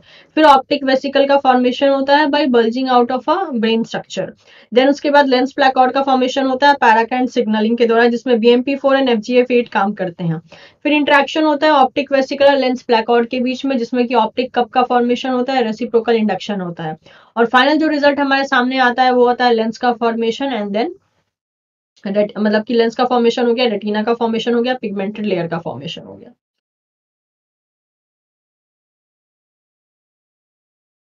नहीं ऑप्टिक वेसिकल को कॉम्पिटेंट होने ऑप्टिक वेसिकल के लिए कॉम्पिटेंट फैक्टर जो है एज सच कुछ मेंशन नहीं किया गया है। क्योंकि वो सेकेंडरी सिग्नलिंग होती है जो हो रही होती है। हम प्राइमरी सिग्नलिंग पे ज़्यादा फोकस कर रहे हैं। तो हमारे पास जो कॉम्पिटेंसी का जो मेन फैक्टर आता है वो आता है एक्टोडॉम के लिए क्योंकि वो प्राइमरी सिग्नलिंग है। अगर वो प्राइमरी सिग्नलिंग नहीं चलेगी तो सेकेंडरी सिग्नलिंग होगी नहीं। रेसिप्रोकल इंडक्शन में कौन सा फैक्टर ऑप्टिक वेसिकल के लिए कॉम्पिटेंसी का काम करता है वो आ, मतलब उसका नाम अभी तक सामने नहीं आया है। मे बी अभी तक डिस्कवर नहीं हुआ हो या कुछ पता ना चला हो लेकिन उसका नाम अभी तक जो है कहीं पे मेंशन नहीं किया गया तो अभी फ़िलहाल में कॉम्पिटेंसी की हम बात करते हैं तो सिर्फ़ सरफेस एक्टोडम रिलेटेड करते हैं। ठीक है? मैंने ऑलरेडी बता दिया है आपको कि डेप बायो के नोट्स के लिए आपको फिर से नोट्स बनाने का ज़रूरत नहीं है। ये जो स्लाइड्स आपको मिल रही हैं आप इसी को नोट्स की तरह ले सकते हैं। इसका प्रिंट आउट निकाल के हाईलाइट करके वो जो कलरफुल आपके पेन आते हैं ना अतरंगी कलर के उस पेन का इस्तेमाल करके हाईलाइट करके पढ़ सकते हैं। ओके कुछ एक्स्ट्रा डायग्राम्स मैंने ऐड कर दिए हैं इन केस अगर आपको मन हो तो आप देख सकते हैं, ठीक है? यहाँ पे आप देख सकते हैं एक और बढ़िया सा एक पिक्चर दे के रखा है वर्टिब्रेट आइलैंड्स के इंडक्शन का। जिसमें कि यू कैन सी हियर कि यहाँ पर जो है, पहले ऑप्टिक वेसिकल का फॉर्मेशन हुआ है, ठीक है? फिर यहाँ पे देखिए, ये रहे लेंस प्लाकॉर्ड का फॉर्मेशन ये रहा इस तरीके से ऑप्टिक वेसिकल बना हुआ है, ठीक है? देन आगे चल के जो है नेक्स्ट यहाँ पे ऑप्टिक कब बना है फाइन एंड आगे चल के देखिए विद विद द टाइम ये वाला पोर्शन देखिए रेटिना बन गया और ये वाला पोर्शन देख सकते हैं आप, किस तरीके से लेंस बन के रेडी हो गया है। ये वाला पोर्शन कॉर्निया है। ये पूरा प्रोसेस दिखा के रखा है। थोड़ा सा रियलिस्टिक पिक्चर है ये। ठीक है, हमने थोड़ा कार्टून कार्टून टाइप पिक्चर में देखा है। ये रियलिस्टिक पिक्चर है कि किस तरीके से जो है लेंस इंडक्शन काम कर रहा है। Okay okay. अब चलिए कुछ इंपॉर्टेंट की पॉइंट्स के बारे में बात कर लेते हैं। अच्छा। उससे पहले यहाँ पे सीक्वेंशियल तरीके से एम्फीबियन में लेंस का इंडक्शन कैसे होता है, इसकी भी एक पिक्चर दे के रखी हुई है, ठीक है? जैसे कि आप देख सकते हैं, यहाँ पे जो है एक्टोडॉम का फॉर्मेशन हुआ है एंडोडॉम है, ये सब चीज़ें यहाँ पे देके रखा है। उसके बाद आप देख सकते हैं टू का जो है एक्सप्रेशन होता है एक्टोडर्मल एरिया में। और आगे चल के टू की वजह से आपको पता है पैक सिक्स का एक्सप्रेशन होता है एक्टोडर्मल एरिया में, ठीक है? पैक सिक्स का एक्सप्रेशन टू की वजह से कैसे होता है, अभी हमने जस्ट पाथवे देखा था। विद टाइम क्या होता है? विद टाइम जो है O T X two Pax six Sox three L Maf इन सब का एक्सप्रेशन होता है, जहाँ पे लेंस एक्टोडॉम होता है, जो कि आगे चल के लेंस प्लेकआउट बनेगा। और ये बाहर वाला जो पोर्शन है, आप देख सकते हैं this is what this is the ectodermal area और this is a optic vesicle तो देखिए, इसमें से जो बी एम पी फोर वगैरह है वो किस तरीके से रिलीज़ हो रहे हैं। और एक्टोडॉम पे देखिए B M P four F G F eight के रिसेप्टर्स वगैरह हैं तो वो किस तरीके से रिसेप्टर्स लगे हैं और वो किस तरीके से जो है सिग्नलिंग को रिसीव कर रहे हैं। यही वाली सिग्नलिंग जो है, हम तब से समझ रहे थे, और कुछ नहीं।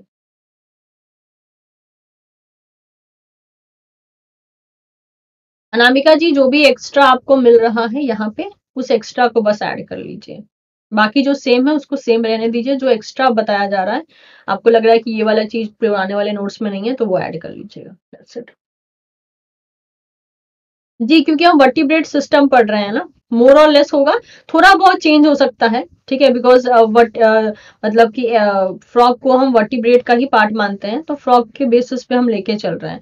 अब मैमेरियन बेसिस पे आएँगे तो हो सकता है एक दो फैक्टर इधर उधर होंगे। लेकिन जिसके बेसिस पे आपके बुक्स में मतलब आपके सिलेबस में चीज़ें मेंशन है, उसी बेसिस पे हम लेके चल रहे हैं। तो हम जो है, यहाँ पर मेनली जीनोपस का केस कंसिडर करके चल रहे हैं। ओके तो ये एक बुकिश पिक्चर के फॉर्म में आपको बता दिया गया कि किस तरीके से ये काम कर रहा है। ये बुक वाली पिक्चर्स क्यों दिखाई जा रही है? क्योंकि हो सकता है इनमें से कोई पिक्चर कल को दे दिया जाए। अब आप बोलोगे कि मैम आपने पढ़ाया, लेकिन ये बुक वाली पिक्चर तो पढ़ाई नहीं तो हो जाएगा क्या? दिक्कत। ठीक है?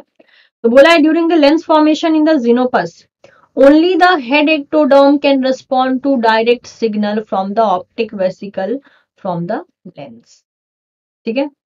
क्या बोला है कि जीनोपस में जब लेंस का फॉर्मेशन होता है ना तो सिर्फ़ हेड एक्टोडर्म ही कॉम्पिटेंट होता है सिग्नल के लिए रेस्पॉन्ड करने के लिए। मतलब ऑप्टिक वेसिकल जो सिग्नल भेजेगा ना हेड एक्टोडर्म को, वो सिग्नल सिर्फ़ और सिर्फ़ हेड एक्टोडर्म ही उसके लिए रेस्पॉन्ड कर सकता है, और कुछ नहीं।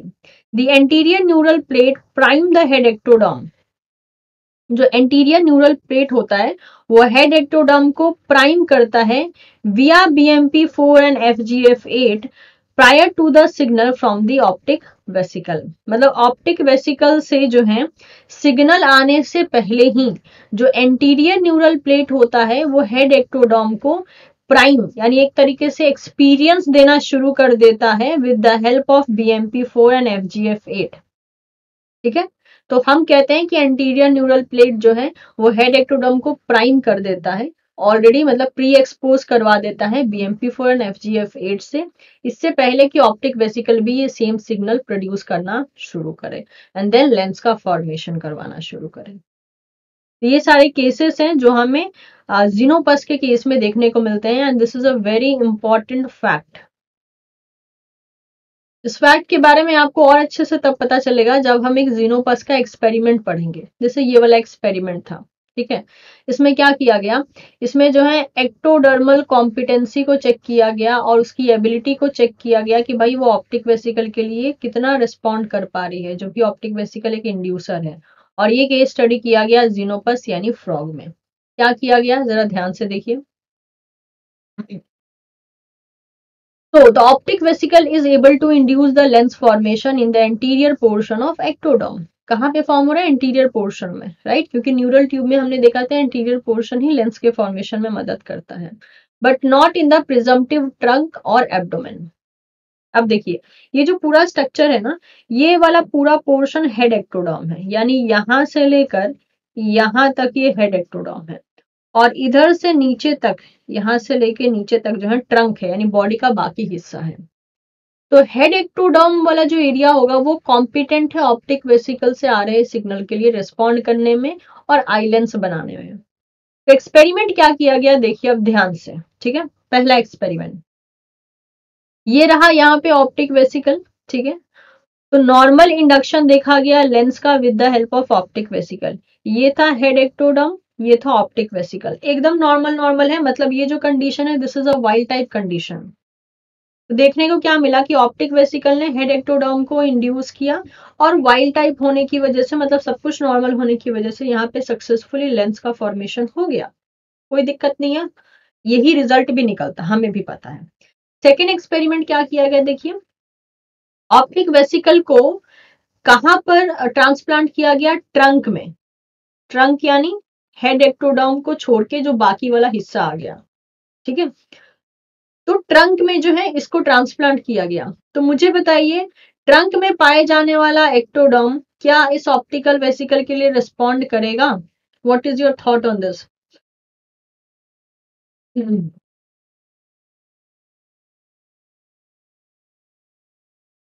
what you think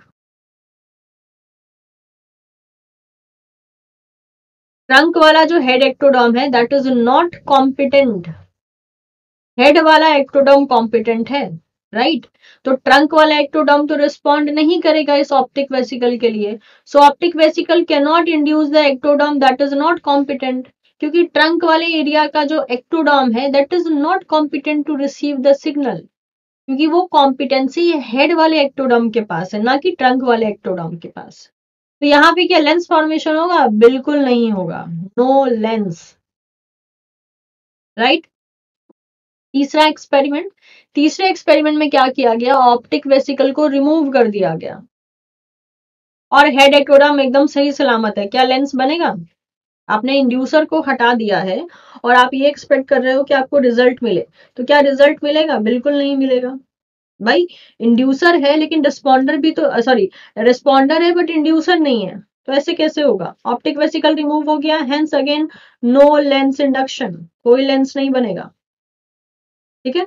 और तीसरे केस में क्या किया? Tissue other than optic vesicle is implanted so no lens induction यानी हेड एक्टोडर्मल एरिया में ही जहाँ पे ऑप्टिक वेसिकल होना चाहिए, वहाँ पे कोई और टिश्यू को ट्रांसप्लांट कर दिया है।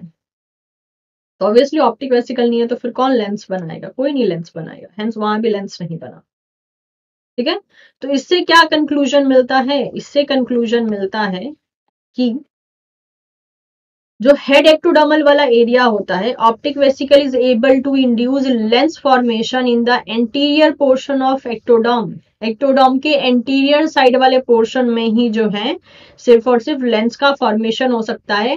ट्रंक या फिर एब्डोमेन पोर्शन में लेंस का इंडक्शन नहीं करवा सकता ऑप्टिक वेसिकल चाहे आप ऑप्टिक वेसिकल को ट्रंक या एब्डोमेन एरिया में क्यों ना इम्प्लांट कर दो। क्योंकि वहाँ के एक्टोडॉम कॉम्पिटेंट नहीं है, उनके पास पैक्सिक्स नहीं है। तीसरा, अगर आप ऑप्टिक वेसिकल को रिमूव कर दोगे सरफेस एक्टोडॉम जो है, या तो एबनॉर्मल लेंस बनाएगा या बिल्कुल भी लेंस नहीं बनाएगा। और फोर्थ हमें रिज़ल्ट ये मिला कि अदर टिश्यू जो है, वो कैपेबल नहीं है ऑप्टिक वेसिकल को सब्सिट्यूट करने में, यानी ऑप्टिक वेसिकल की जगह लेने में, उसका रोल प्ले करने में। यानी यहाँ से हमको रिज़ल्ट क्या मिलता है कि हमको दोनों चाहिए। हमको ऑप्टिक वेसिकल भी चाहिए और हमको हेड एक्टोडॉम भी चाहिए। वो भी एकदम वाइल्ड टाइप कंडीशन में सही सलामत और सही जगह पे। तभी जाकर जो है हमको लेंस मिलेगा। और अगर आपने लोकेशन के मामले में गड़बड़ किया, इनके नेचर के मामले में गड़बड़ किया तो हमको लेंस नहीं मिलेगा। ठीक है? अब इससे जो है कुछ की पॉइंट हमारे सामने आते हैं। पहला की पॉइंट ये सारे की पॉइंट बहुत इंपॉर्टेंट है एग्ज़ाम पॉइंट ऑफ़ व्यू से। पहला PAT six render the head ectoderm competent to receive the signal from optic vesicle Pax six ectoderm को कॉम्पिटेंट बनाता है ताकि ऑप्टिक वेसिकल से आने वाले सिग्नल को जो हेड एक्टोडम है वो रिसीव कर सके। Apart from optic vesicle, the head ectoderm may also be induced by BMP, FGF. So PAC6 is not exclusive for the lens formation. बोला है कि ऑप्टिक वेसिकल जो है ऑप्टिक वेसिकल जब क्या कर सकता है हेड एक्टोडर्म को इंड्यूस कर सकता है but apart from optic vesicle मतलब ऑप्टिक वेसिकल को अगर आप हटा भी देते हो, और अलग से आप हेड में बीएमपी एंड एफजीएफ को मतलब कि प्रोवाइड कर देते हो तो उस टाइम पे क्या होगा? हेड एक्टोडम जो है बीएमपी एंड एफजीएफ के द्वारा भी जो है इंड्यूस हो सकता है। दैट मीन्स पैक्सिक्स जो है, एक इंपॉर्टेंट फैक्टर है बट ये एक्सक्लूसिव फैक्टर नहीं है लेंस फॉर्मेशन के लिए। ऐसा नहीं है कि पैक्सिक्स अकेले लेंस बना लेगा, नहीं। एक्सक्लूसिव नहीं है। इसको और भी चीज़ों की मदद चाहिए होती है, जैसे कि हो गया बीएमपी एंड एफजीएफ से मिलने वाला इंडक्शन ठीक है? अगला important lens formation required a sequential event where by anterior neural plate signal the anterior ectoderm to promote the secretion of Pax six which render the anterior ectoderm more receptive to the secretion from the optic vesicle this can be best explain by the induction and competence phenomena जिसको हम तब से पढ़ रहे हैं। Lens formation एक sequential step है, जिसमें कि एंटीरियर न्यूरल प्लेट जो है, वो सिग्नल देती है एंटीरियर साइड में पाए जाने वाले एक्टोडॉम को, ताकि वो पैक्सिक्स का प्रोडक्शन शुरू कर दे। क्योंकि जब एक्टोडॉम पैक्सिक्स का प्रोडक्शन शुरू करेगी, तभी एक्टोडॉम कॉम्पिटेंट बनेगी। और as a result of that जो है एक्टोडोम जो एंटीरियर एक्टोडॉम होती है, वो रिसेप्टिव बन जाती है, वो कॉम्पिटेंट बन जाती है। किसके लिए? ऑप्टिक वेसिकल से आने वाले सिग्नल के लिए। और उससे वो रिसीव करने लगती है। और ये जो पूरा हम सिनारियो देख रहे हैं, ये सिनारियो जो है बेस्ट एक्सप्लेन किया जा सकता है कॉम्पिटेंट एंड इंडक्शन प्रोसेस के द्वारा। इसलिए आई लेंस जो है बेस्ट एग्ज़ाम्पल बनता है कॉम्पिटेंस एंड इंडक्शन का। लेंस फॉर्मेशन जब होता है जीनोपस का तो हमने ये देखा है कि सिर्फ़ हेड एक्टोडम कॉम्पिटेंट होता है रिस्पॉन्स देने के लिए। लेकिन जो एंटीरियर न्यूरल प्लेट होती है वो हेड एक्टोडम को जो है प्राइम कर सकती है बीएमपी फोर एंड एफजीएफ के द्वारा even prior to the signal from the optic vesicle जो कि अभी अभी जस्ट हमने पढ़ा। तो ये जो है यहाँ पे कुछ की पॉइंट्स थे जो काफ़ी इंपॉर्टेंट हो जाते हैं आपके एग्ज़ाम पॉइंट ऑफ़ व्यू से। इन सारे पॉइंट से जो है आपसे क्वेश्चन पूछे जा सकते हैं। ओके okay, उम्मीद करती हूँ यहाँ पे हमने वही चीज़ कंक्लूड की जो कंक्लूजन हम तब से ड्रॉ कर रहे थे।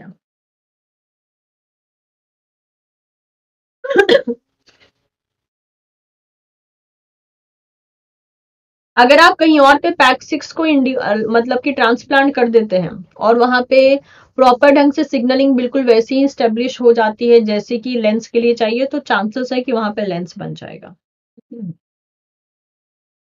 ठीक है? ओके तो यहाँ पे जो हमने सब कुछ इस पिक्चर में जो भी हमने देखा था ये वाले पिक्चर में। इसका बहुत सारा एक्सप्लेनेशन मैंने यहाँ भी लिख के रखा है।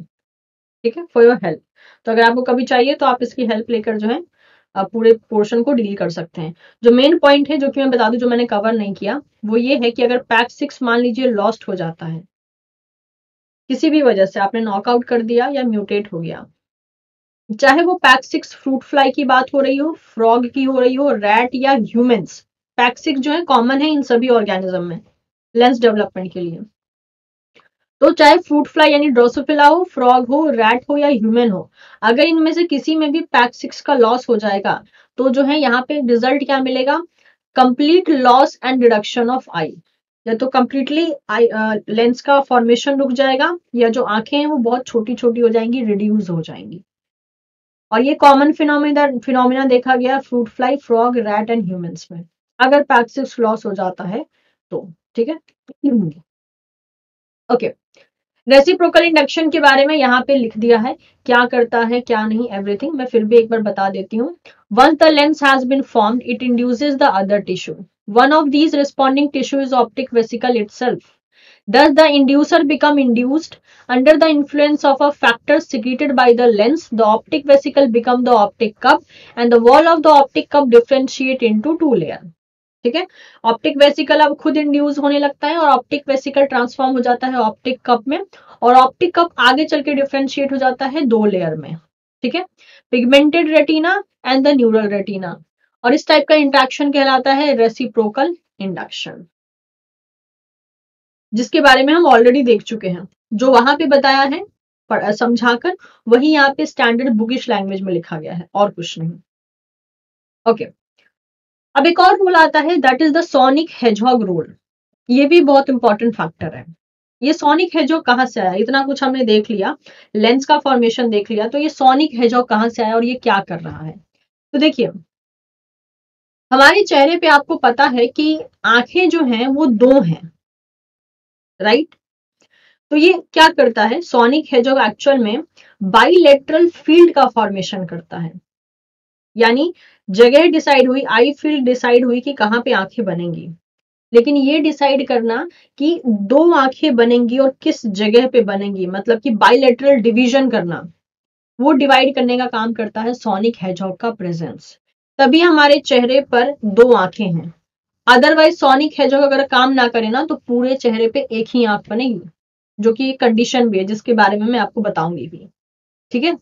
तो चाहे फ्लाइज हो या वर्टिब्रेट हो पैक्सिक जो है ये कुछ ऐसे सिग्नलिंग कैस्केड करवाता है जिसमें बहुत से ट्रांसक्रिप्शन फैक्टर्स इन्वॉल्व होते हैं जैसे कि हो गया six three R X Sox two इन सबके फ़ंक्शन ओवरलैपिंग है यानी मोर और लेस एक, एक दूसरे के जैसे ही हैं.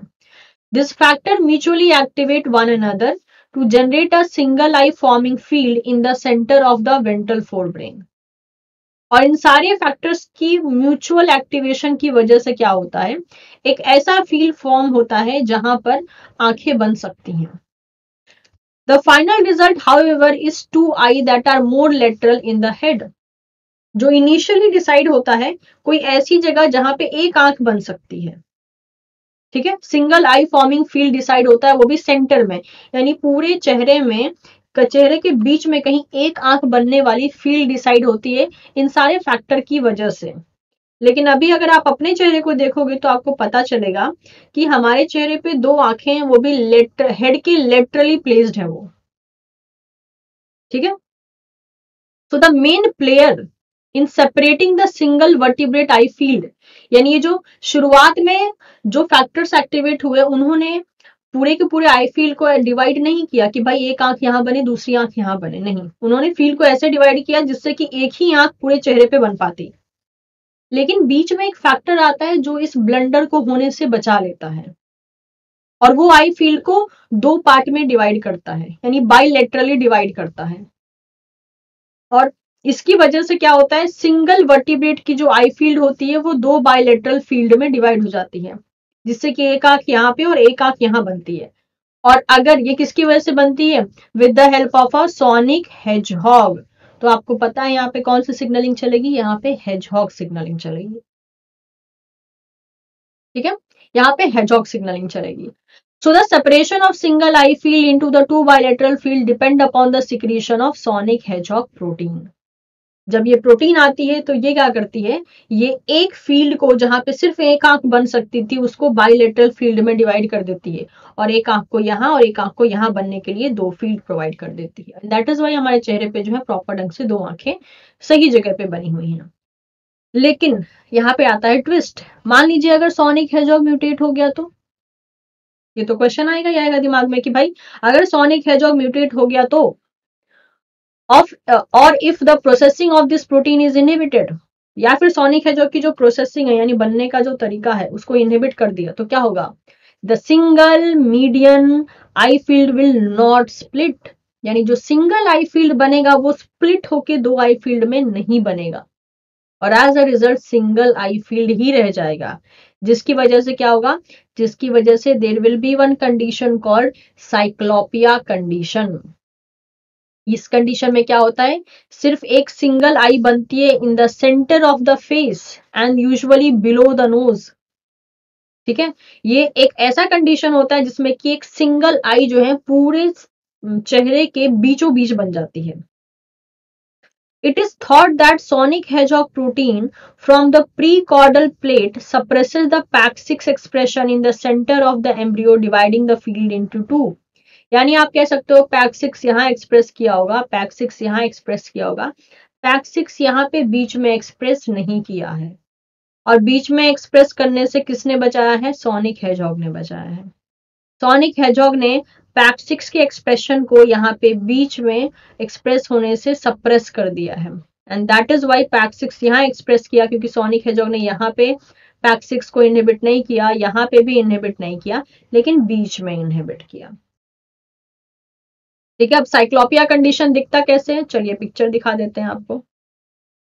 ये देखिए।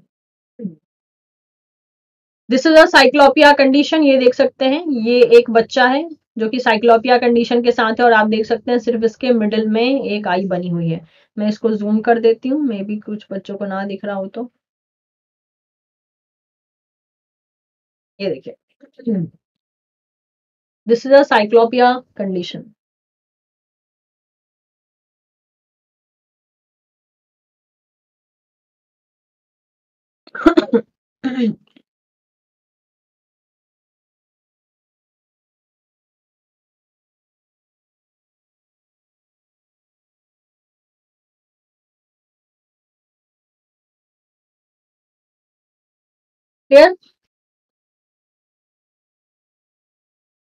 तो देखिए, आज आपने एक ही चैप्टर में तीन सिग्नलिंग के बारे में समझ लिया। Hedgehog signalling FGF signalling TGF beta ठीक है? तो वो जो इतना दो दिन से जिस न, जिस चैप्टर ने आपकी जान लेके रखी थी आपको पता चल रहा है कि वो चैप्टर अब कैसे काम आ रहे हैं? अब अब यहाँ पे क्या होता है? अगर मैं वो चैप्टर नहीं पढ़ाती ना तो मुझे यहीं बैठ के आपको समझाना पड़ता कि हेजॉक सिग्नलिंग कैसे चलती है। वो क्या होता है? वो डिस्ट्रैक्शन होता है। आप फिर आई आई वाले चैप्टर से तो डिस्ट्रैक्ट हो जाते हैं हेजॉग पे फिर फोकस करना पड़ता। तो वो फिर पढ़ने में ना मज़ा नहीं आता है फिर उसमें। इसीलिए सिग्नलिंग पहले ही आपको पूरी डील करवा दी गई है और एक एक करके देखिए मैं आपसे कनेक्ट करवा दे रही हूँ कि भाई देखो वो वाली सिग्नलिंग है जो हमने पढ़ी थी, वो वाली सिग्नलिंग यहाँ पे चल रही है।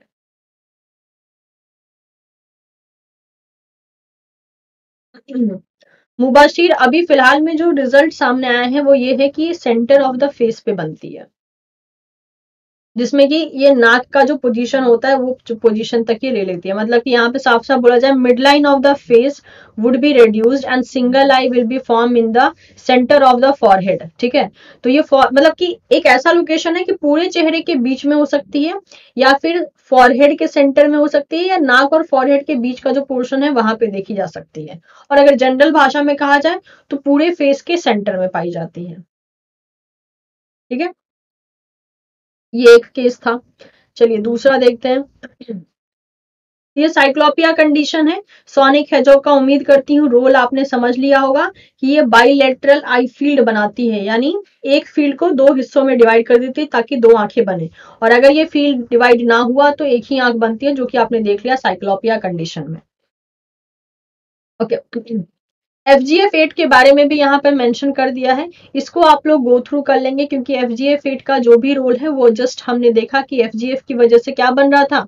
एफ़ जी एफ़ की वजह से एक्टोडॉम में एल मैफ बन रहा था। और बी एम पी फोर की वजह से क्या बन रहा था? दैट इज़ सॉक्स टू बन रहा था। ठीक है? तो वही बताया गया है कि एफ़ जी एफ़ एट जो है, अपने रिसेप्टर यानी एफ़ जी एफ़ आर से बाइंड करके जो है, वहाँ पे आरटी के सिग्नलिंग करवाता है। उस आरटी के सिग्नलिंग की वजह से एल मैफ नाम के ट्रांसक्रिप्शन फैक्टर का प्रोडक्शन होता है। That is in the ectodermal area तो एक जो यहाँ पे इंपॉर्टेंट कंडीशन है एक्सपेरिमेंटल कंडीशन है, वो मैं बता देती हूँ। क्या किया गया? F G F eight was shown to be sufficient for inducing lens forming by placing the FGF8 containing beads adjacent to the head ectoderm. देखा गया कि FGF8 जो है इतना सफिशियंट होता है कि ये लेंस इंडक्शन करने में मदद कर सके। इसको कैसे देखा गया? इसको जो है FGF कंटेनिंग बीड्स को जो है हेड एक्टोडॉम के एडजेसेंट साइड में रख दिया गया मतलब प्लेस कर दिया गया।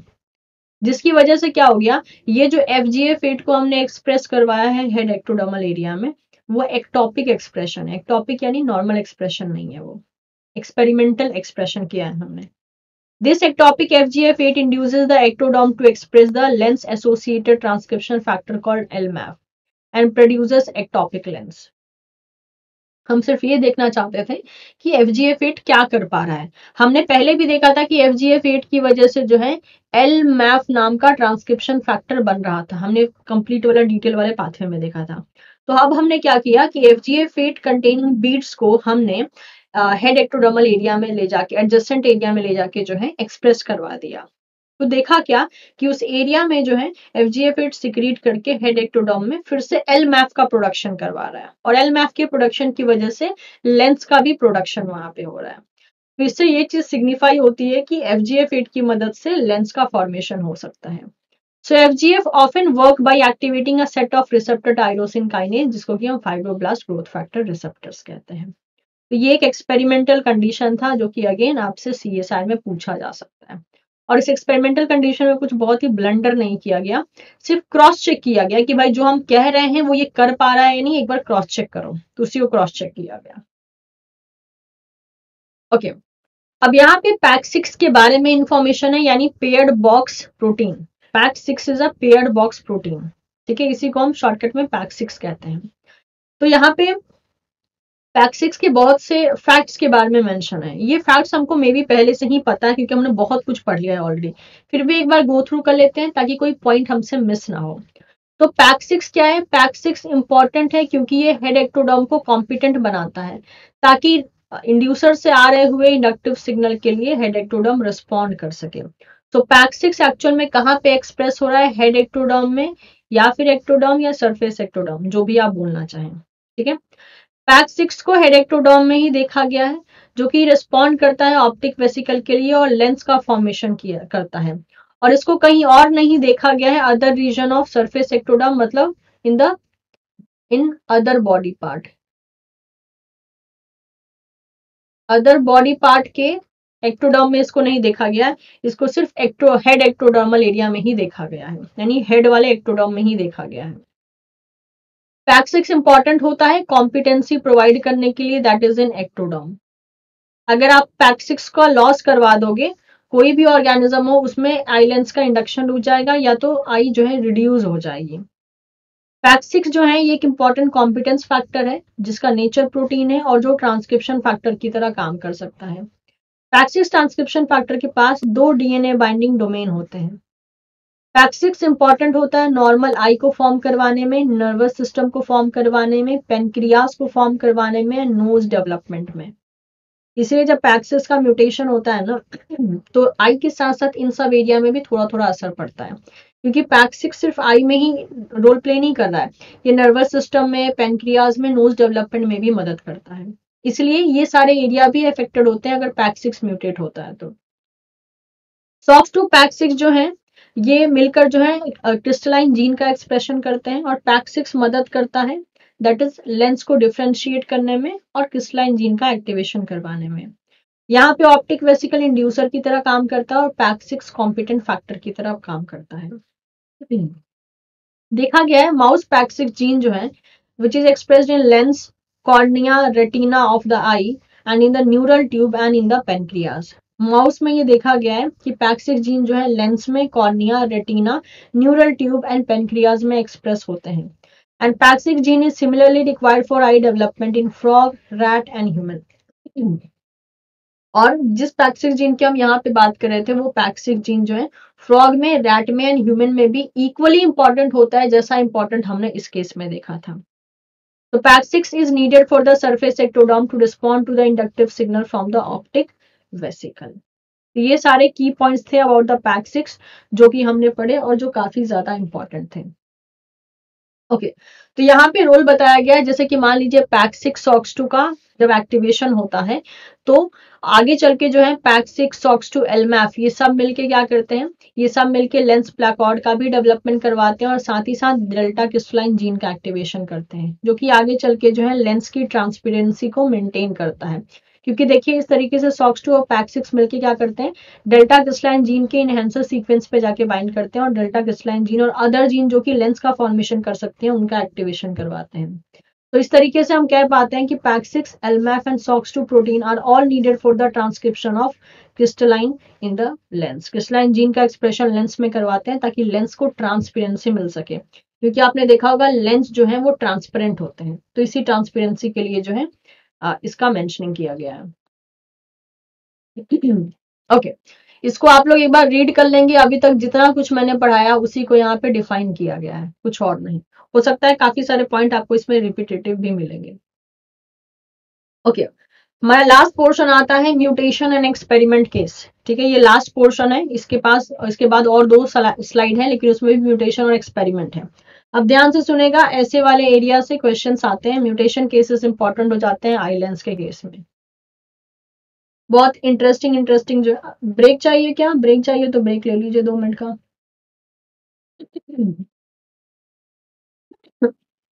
श्वेता जी ने जो है, संतरे और चेरी के साथ ब्रेक मांगा। है ठीक है ठीक है, कोई दिक्कत नहीं है ब्रेक ले लीजिए।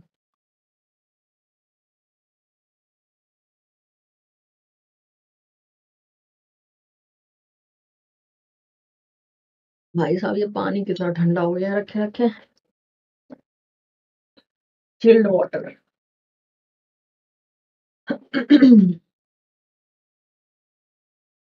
नहीं साइक्लोपिया कंडीशन में नोज़ भी प्रॉपर ढंग से फॉर्म नहीं होते, पूरे चेहरे पे एक ही आँख दिखती है बस। नोज़ के जो ब्रिजेस होते हैं ना, वो आपको मतलब नोटिस पे नहीं आएँगे, देखिए। कहाँ पे नाक आँखें, नाक कहाँ पर है बताओ। सर्च द नोज़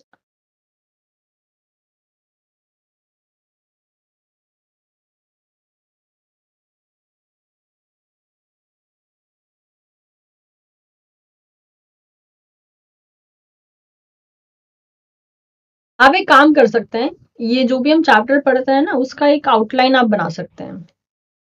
उस चैप्टर में कनेक्ट करके कि आपने क्या पढ़ा मतलब फ्लो डायग्राम में। उससे क्या होगा, आप स्लाइड तो पढ़ेंगे पूरा कंसेप्ट गेन करने के लिए, लेकिन वो जो आप आउटलाइन बनाएँगे ना, वो आउटलाइन आपको चैप्टर से कनेक्टेड रखेगा।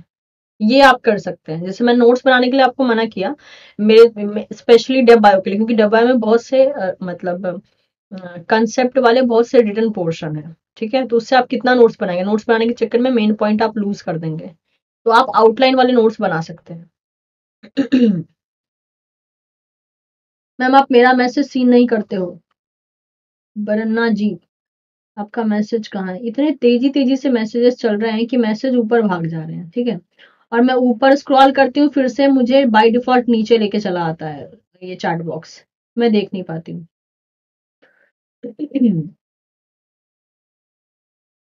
कितना ये सरवाइव थोड़ी करेगा? ब्रीथ करने की बात तो तब आएगी ना जब ये सरवाइव करेगा।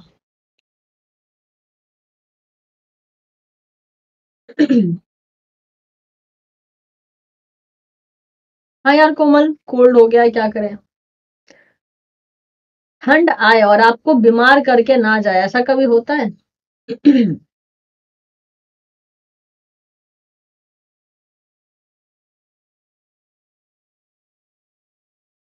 देखिए आयुषी एक्चुअल में हम यहाँ पे सोनिक हेजॉक के बारे में पढ़ रहे हैं तो तो हमें ये पता है कि ये आई को कैसे अफेक्ट करेगा, ठीक है? अब ये बॉडी के और किसी किसी पार्ट को कैसे अफेक्ट कर रहा है, ये हमारे लिए बताना मुश्किल है। अब उसके लिए आप ये क्या कर सकते हो, आप साइक्लोपिया कंडीशन पे केस स्टडी पढ़ सकते हो। अगर आपको इतना मतलब इंटरेस्ट आ रहा है कि और कौन कौन से बॉडी पार्ट नहीं बनेंगे, या कैसे बनेंगे, या क्या और डिफेक्ट आएगा, ये इंफॉर्मेशन बुक में नहीं मिलेगी। क्योंकि बुक फोकस कर रहा है कि एक जीन है जो काम नहीं करेगा तो साइक्लोपिया हो जाएगा। हमारा इंटरेस्ट भी वहीं तक है। अब आपको साइक्लोपिया स्पेसिफिक कंडीशन अगर जानना है कि कैसे क्या होगा तो देखिए, एक हो सकता है एक जो फीटस बॉर्न हुआ, उसमें ये डिफेक्ट मिला। दूसरा फीटस बॉर्न होगा तो शायद उसमें कुछ एडिशनल डिफेक्ट या एडिशनल कुछ ऑर्गन बनने के बाद डिफेक्ट देखा जा सकता है। क्योंकि इंडिविजुअल टू इंडिविजुअल डिफेक्ट के मामले में थोड़ा बहुत वेरिएशन आता है। ऐसा नहीं है कि एक जीन जो मेरे में जो प्रॉब्लम करेगी, वो सेम प्रॉब्लम आप में भी करे। नहीं, हो सकता है मेरे में वो प्रॉब्लम फोर्टी परसेंट तक करे। आप में वो प्रॉब्लम एटी परसेंट तक भी कर सकती है। तो इंडिविजुअल टू इंडिविजुअल वैरी करता है। तो अगर आपको और डिटेल में जानने का मन है कि इसमें और क्या इफ़ेक्ट होता है या और क्या ऑर्गन देखने को मिल सकते हैं तो जितना मेरा एक्सपीरियंस कह रहा है, अगर ये कंडीशन मल्टीपल इन्फेंट पे देखी गई है तो सब पे आपको थोड़ा बहुत वेरिएशन देखने को मिलेगा। तो आप अपने एंड से साइक्लोपिया पे केस स्टडी पे केस स्टडी को आप थोड़ा पढ़ सकती हैं। तो आपको डिटेल जानने को मिल जाएगा।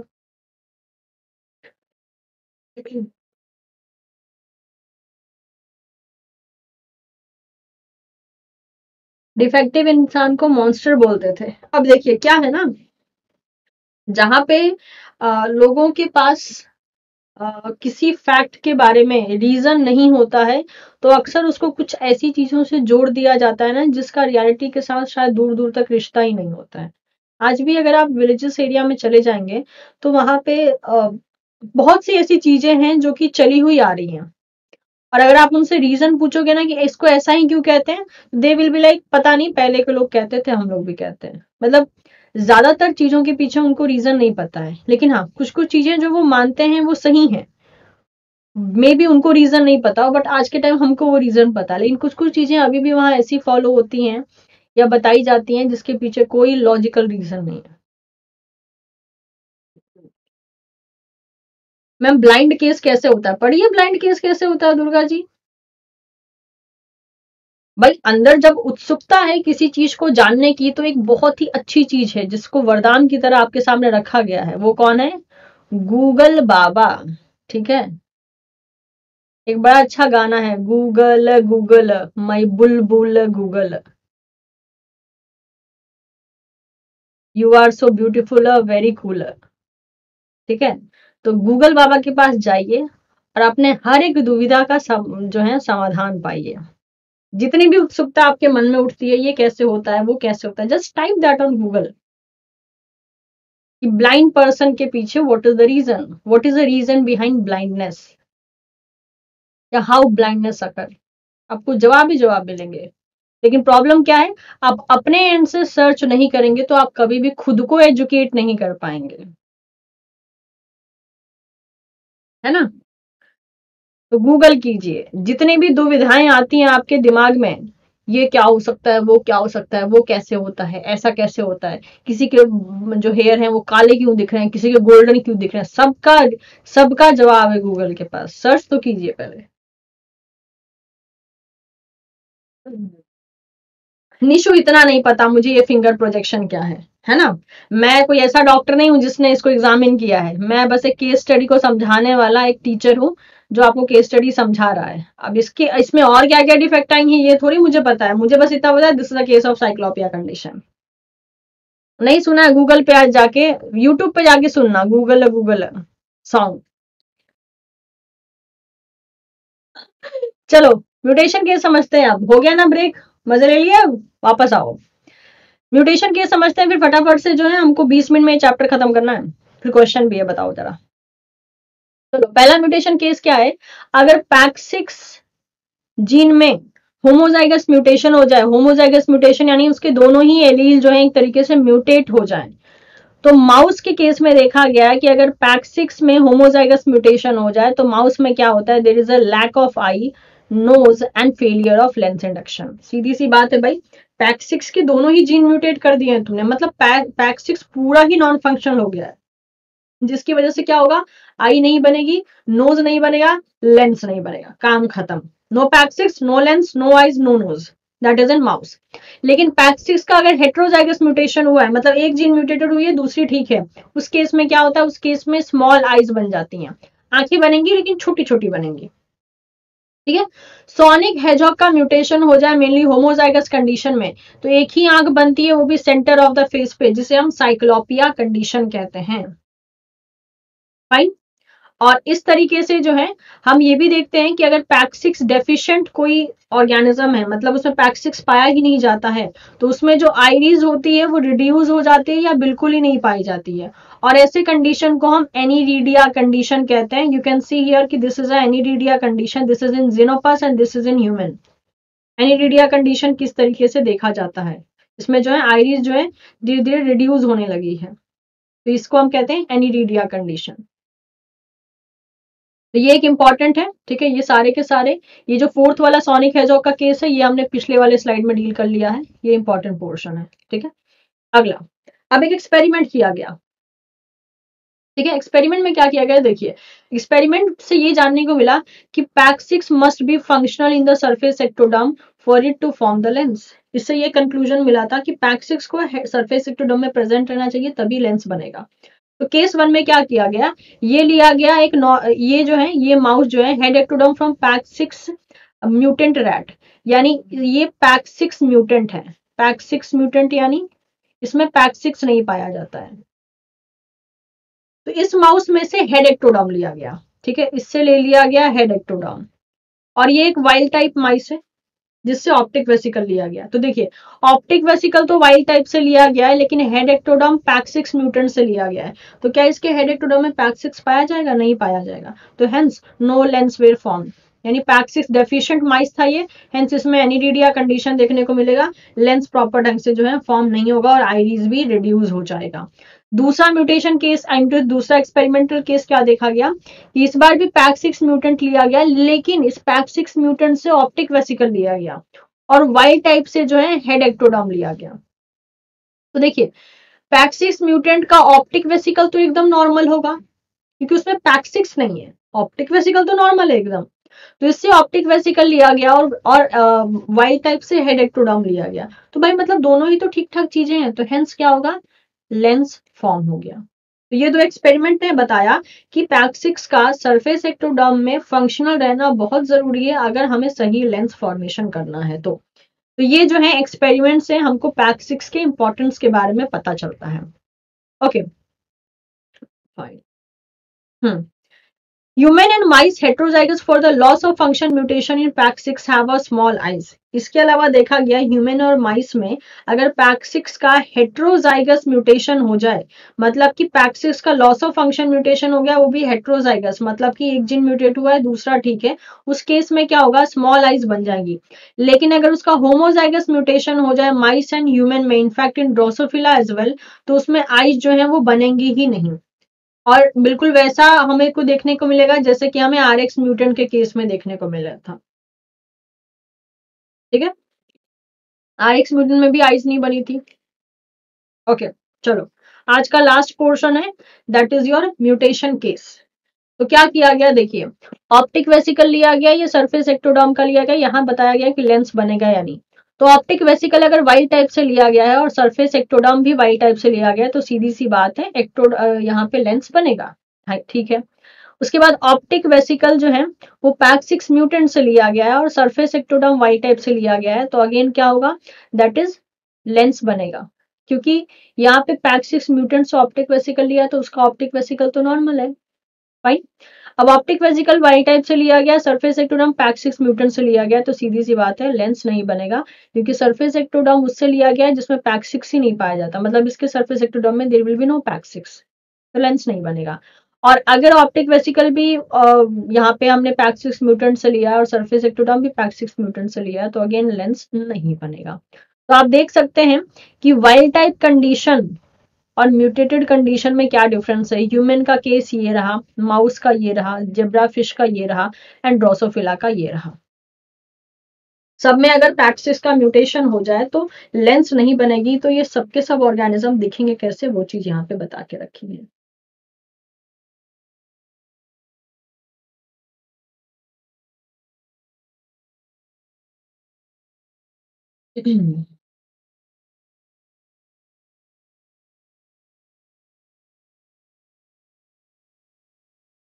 क्या बात है Sameer ji? Blue eyes hypnotise कर दिए मैनू। चलो। हाँ जी क्लियर है ये?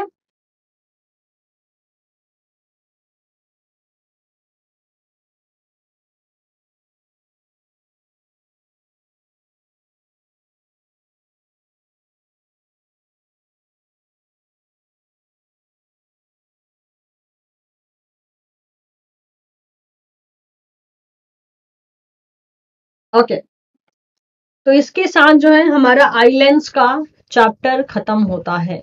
दो तीन एक्स्ट्रा स्लाइड्स ऐड कर दी गई हैं, उसको आप पढ़ लीजिएगा और दो पढ़ाए हुए पोर्शन ही वहाँ भी डाल के रखे गए हैं।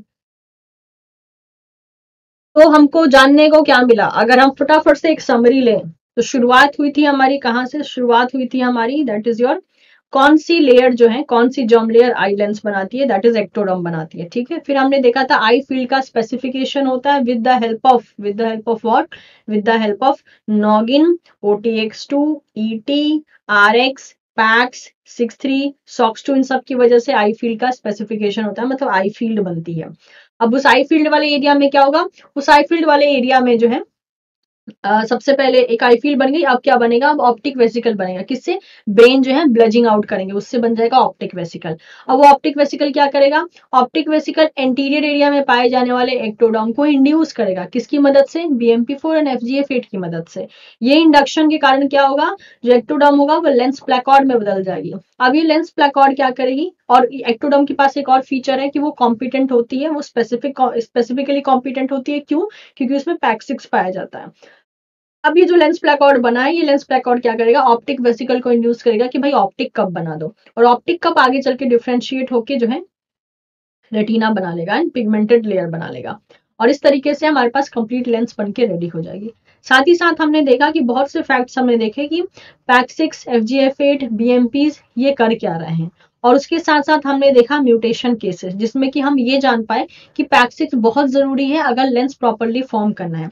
साथ ही साथ हमने सोनिक हेजॉग का रोल देखा, जो कि एक सिंगल आई फ़ील्ड को बायोलेटरल आई फ़ील्ड में डिवाइड करती है, ताकि हमारे चेहरे पे दो आँखें बने। और अगर ये म्यूटेट हो जाए तो चेहरे पे दो आँखें ना बनकर एक एबनॉर्मल कंडीशन अराइज हो जाता है, जिसे हम साइक्लोपिया कंडीशन कहते हैं, जिसमें कि क्या होता है, सिर्फ़ एक ही आँख जो है, पूरे चेहरे पे बन के आ जाती है। और उसके साथ साथ हमने देखा बहुत से म्यूटेशन केस बहुत से एक्सपेरिमेंटल केस कि अगर कोई जीन रहे और ना रहे या कम प्रेजेंट रहे तो क्या क्या इफ़ेक्ट देखने को मिलता है। हाँ जी क्लियर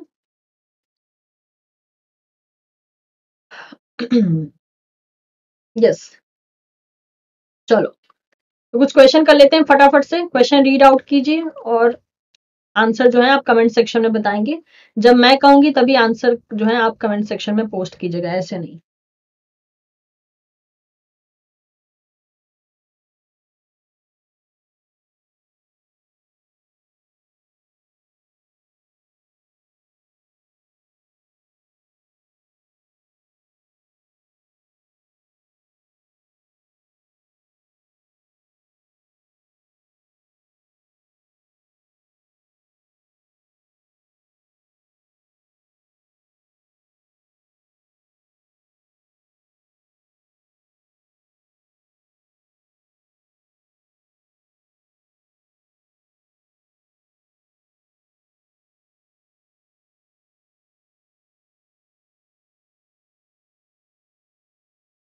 और आपके बहुत से ऐसे सवाल भी हैं जिसका क्लियरेंस तब हो जाएगा जब ये मेरी दी हुई स्लाइड आप रीड आउट कर लोगे। ठीक है? तो एक बार अच्छे से रीड आउट कीजिए, उसके बाद कोई डाउट आता है तब पूछिए।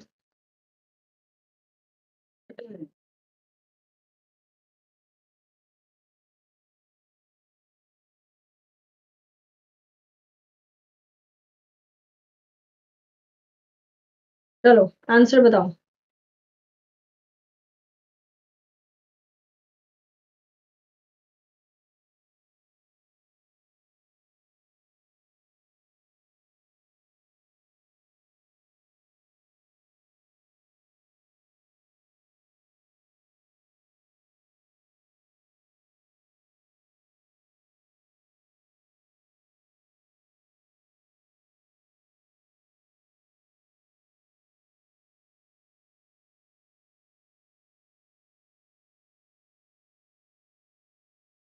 Hedgehog pathway is extremely important in vertebrate limb development, neural differentiation, facial morphogenesis. In accordance with the above statement, what would happen in the mice that are homozygous for the mutant allele of sonic hedgehog?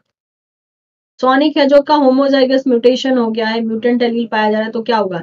Limb would form normally but the mice would have a facial abnormality limb normally form होगा, लेकिन माइस में जो है facial में problem होगा, गलत। आपको याद होगा, हमने हेजॉग पाथ में बात की थी कि सोनिक हेजॉग जो है, ये पिंकी फिंगर बनाने में मदद करता है तो लिम्ब कैसे नॉर्मल फॉर्म होगा, गलत। नेक्स्ट है midline of the face would reduce and single eye would form in the centre of the forehead बिल्कुल सही, जिसको कि हम साइक्लोपिया कंडीशन कहते हैं। Eye would form normally but digit would would be malform no mutation of sonic hedgehog may activate tumour formation if patch protein can inhibit the smoother protein गलत। तो हमारा आंसर क्या हो गया? हमारा आंसर हो गया दैट इज़ योर टू अगला सवाल।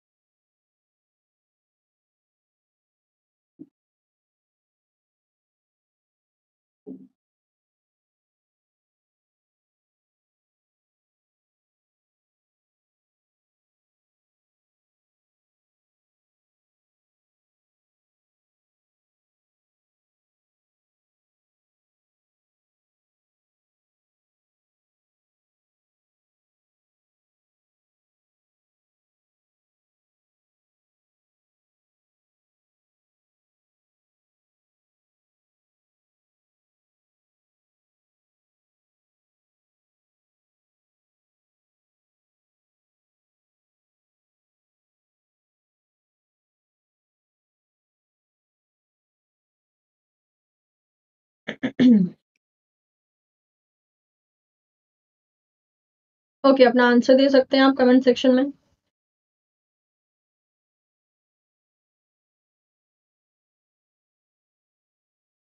चलिए देखते हैं क्या बोला है। The functionality of pax six gene in the formation of optic and the nasal structure may be attributed to the following आपको बताना है ट्रू स्टेटमेंट पहला। Pax six make optic vesicle competent pax six optic vesicle को competent करता है? नहीं head ectoderm को करता है। ये क्या हो गया? ये हो गया फॉल्स स्टेटमेंट नेक्स्ट देखिए the optic vesicle can induce any part of head ectoderm to form the nasal and optic structure due to the presence of Pax six अच्छा हेड एक्टोडॉम तो कॉम्पिटेंट है राइट right? पैक्स क्योंकि Pax six की presence है तो optic vesicle जो है head ectoderm के आ, किसी भी पार्ट को इंड्यूस कर सकता है? नहीं। ये एंटीरियर पार्ट को ही इंड्यूस करेगा। राइट तो गलत हो गया ये। Next pax six render the head ectoderm competent to receive signal from optic vesicle बिल्कुल सही। True next Apart from optic vesicle, the head ectoderm may also be induced by BMP and FGF. So the PAC6 is not exclusive for the lens formation. बिल्कुल सही। अकेले काफ़ी नहीं है ये, बाकियों के साथ जो है ये मिलके करवाता है।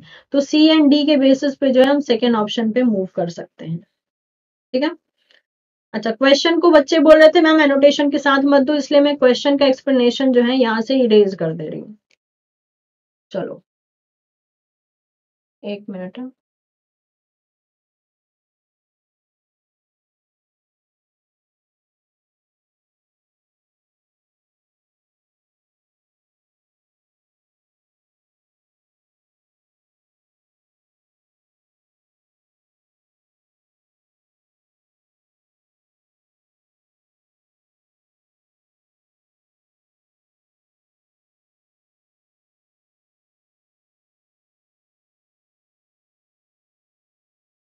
चलो इसका आंसर हम बी लेके ही चल रहे हैं।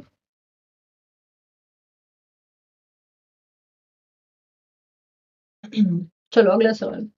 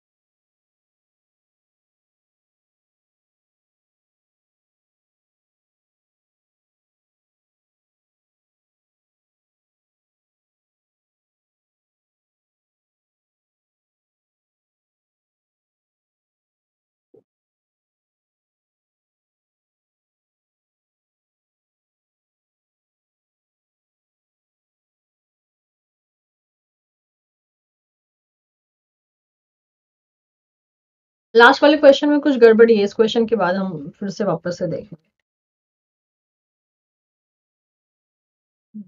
आई थिंक उसमें बी स्टेटमेंट भी सही होगा, क्योंकि हेड एक्टोडम तो एंटीरियर में ही पाया जाता है राइट right? तो बोला है any part of head ectoderm तो आई थिंक बी वाला स्टेटमेंट सही होगा। क्योंकि हेड एक्टोडम का लोकेशन इंटीरियर ही होता है तो वहाँ पे इंटीरियर मेंशन नहीं भी करने से आई थिंक हम कंसिडर कर सकते हैं, क्योंकि हेड मेंशन कर दिया है।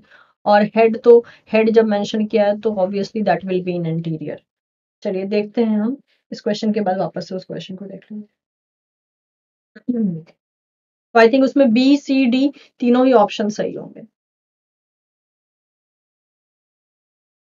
चलिए, इसका आंसर दीजिए कमेंट सेक्शन में।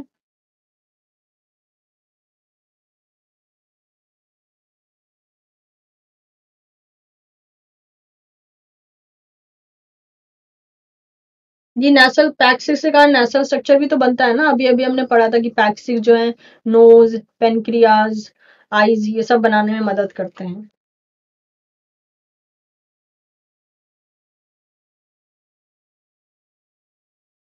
ओके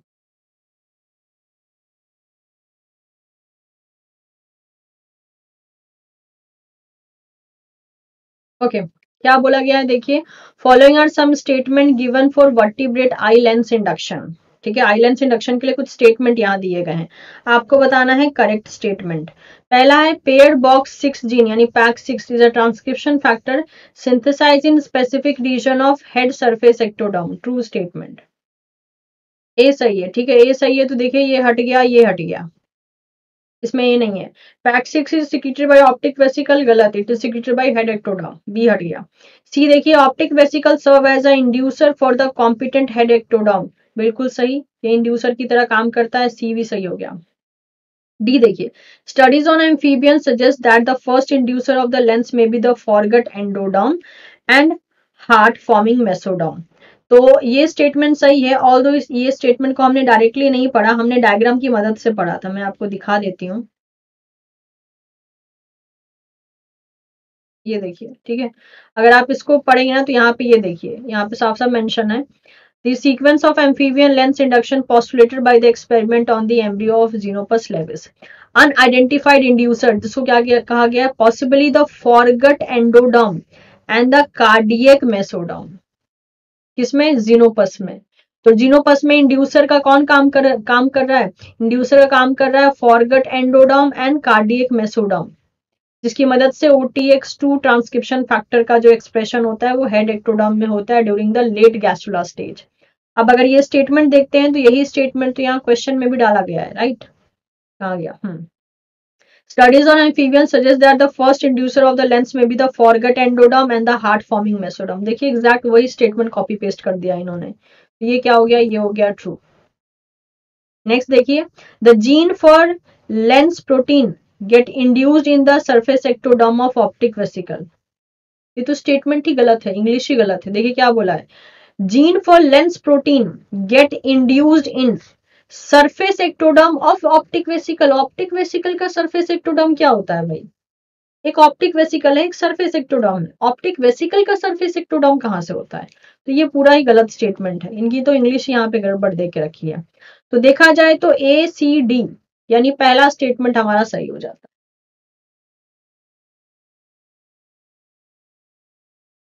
ठीक है? अच्छा तो जो हमारा लास्ट क्वेश्चन है, इसमें देखिए क्या बोला है?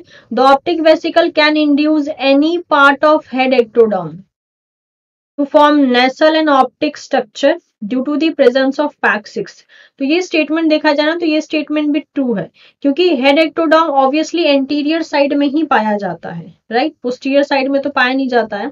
तो हेड एक्टोडम जब जब ऑलरेडी हेड एक्टोडम बोल दिया मतलब वह इंटीरियर की तरफ़ ही बोल रहा है तो वहाँ पे पैक सिक्स है। अब पैक सिक्स का नेचर क्या होता है? पैक सिक्स का नेचर होता है कि भाई वो नोज़ भी बना सकता है, वो आई रिलेटेड स्ट्रक्चर भी बना सकता है अभी अभी हमने पढ़ा था। तो ये कह रहा है कि ऑप्टिक वेसिकल जो है, वो हेड एक्टोडम के किसी भी पार्ट को इंड्यूस कर सकता है, क्योंकि उसके पास पैक सिक्स होती है ताकि वो optic structure and nasal structure बना सके। तो देखा जाए तो ये स्टेटमेंट भी जो है समहाउ ट्रू है। तो ये भी ट्रू है सी भी ट्रू है और डी भी ट्रू है। डी वाला भी तो स्टेटमेंट हमने अभी अभी पढ़ा था, देखिए। जो बच्चे कुछ, पता नहीं कोई बच्चे थे जो बोल रहे थे, मैम डी गलत है। डी गलत नहीं है। डी यहाँ पे हमने अभी जस्ट पढ़ा था, कहाँ गया? ये देखिए।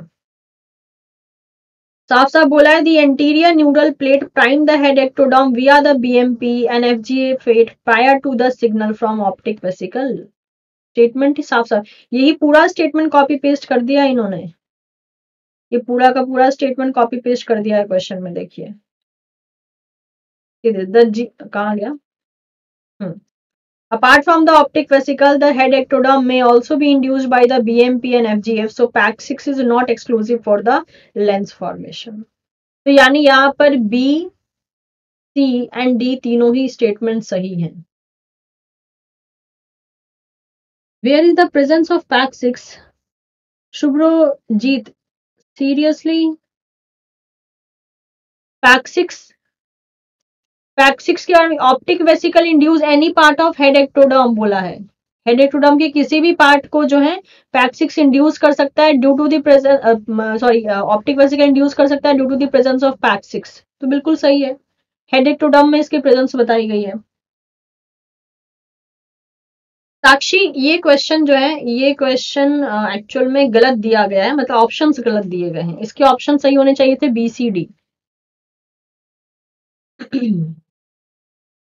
हाँ ये चैलेंजिंग क्वेश्चन था। 2012 में ये एक चैलेंजिंग क्वेश्चन था। इसके जो आंसर होते वो होता बी सी डी तीनों ही स्टेटमेंट सही है।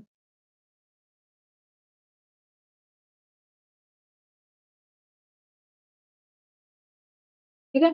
अब कोई बच्चा अगर आप बोल रहे मैम, वो तो एक्टोडम में होता है। भाई हेड एक्टोडम सरफेस एक्टोडम और एक्टोडम ये तीनों को हम इंटरचेंज बेसिस पे यूज़ करते हैं। हेड एक्टोडम का मतलब होता है हेड वाला पोर्शन जहाँ पे आइस बनने वाला हो। उधर की एक्टोडमल की बात हो रही है।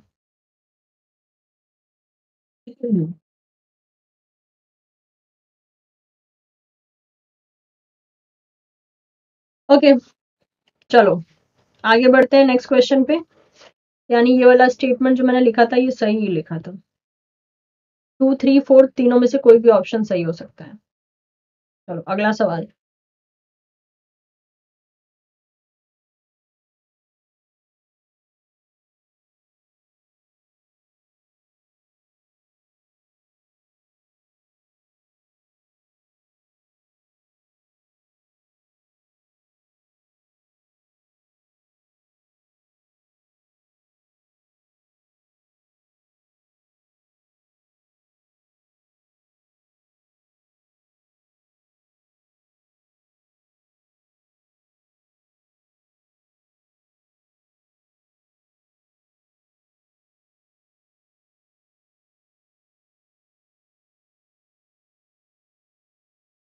कल का टॉपिक कलम सी एलिगन शुरू कर देंगे।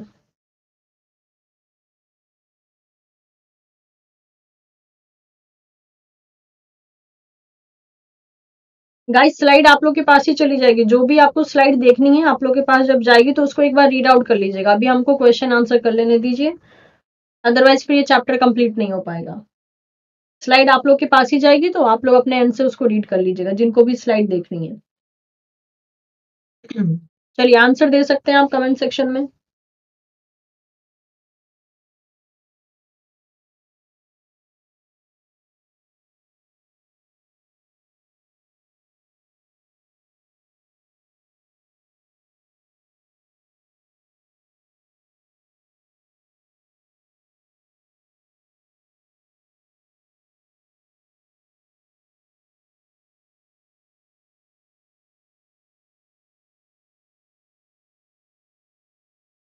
क्या बोला है? During the lens formation in Xenopus the following statement have been proposed आपको बताना है करेक्ट स्टेटमेंट पहला है lens induction can be achieved in the absence of optic vesicle after priming the head ectoderm by the anterior neural plate यानी lens का induction हम तब भी कर सकते हैं अगर ऑप्टिक वेसिकल ना रहे, बस हम हेड एक्टोडम को प्राइम कर देंगे एंटीरियर न्यूरल प्लेट से, जो कि क्या है? जो कि गलत स्टेटमेंट है।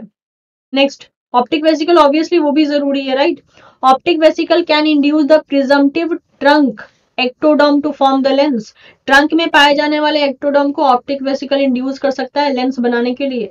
ये क्वेश्चन उस एक्सपेरिमेंट पे आया है जो अभी अभी हमने थोड़ी देर पहले देखा था। ये भी गलत है। Next only the head ectoderm can respond to the direct signal from the optic vesicle optic vesicle to form the lens बिल्कुल सही true next the anterior neural plate prime the head ectoderm are the B M P four and F G F eight prior to the signal from the optic vesicle बिल्कुल ये भी सही है। True जो कि हमने देखा था, जहाँ पे पैक सिक्स के एक्सक्लूसिव ना होने की बात कही गई थी। So with this we can go with that is option one आज का लास्ट क्वेश्चन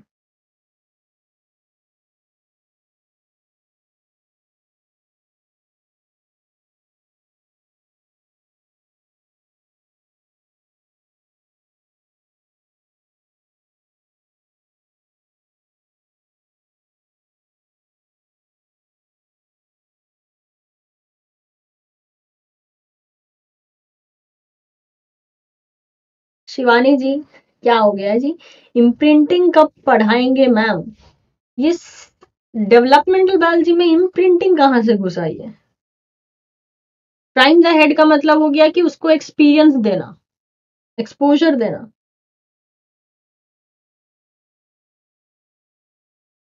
इम्प्रिंटिंग आपके इवोल्यूशन का पार्ट है।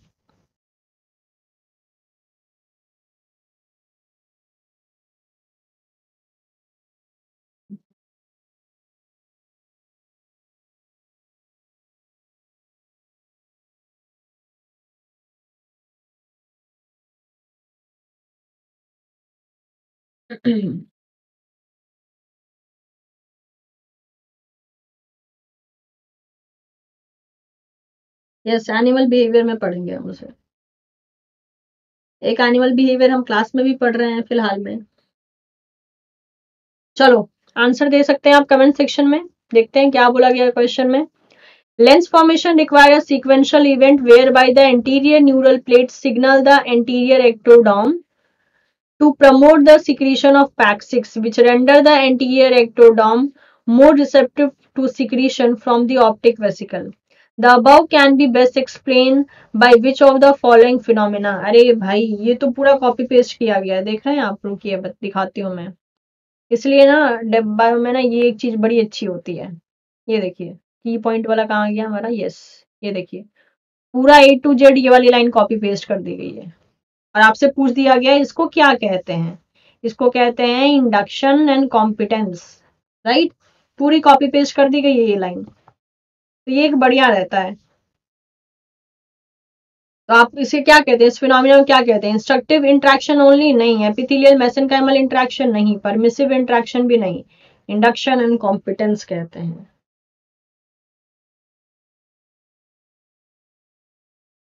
ठीक है?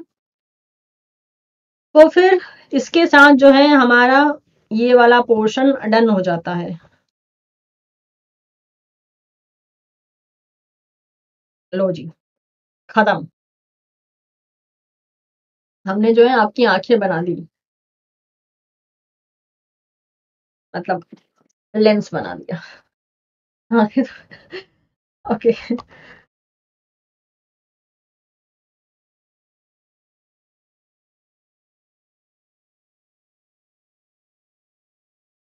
ओके चलो फिर।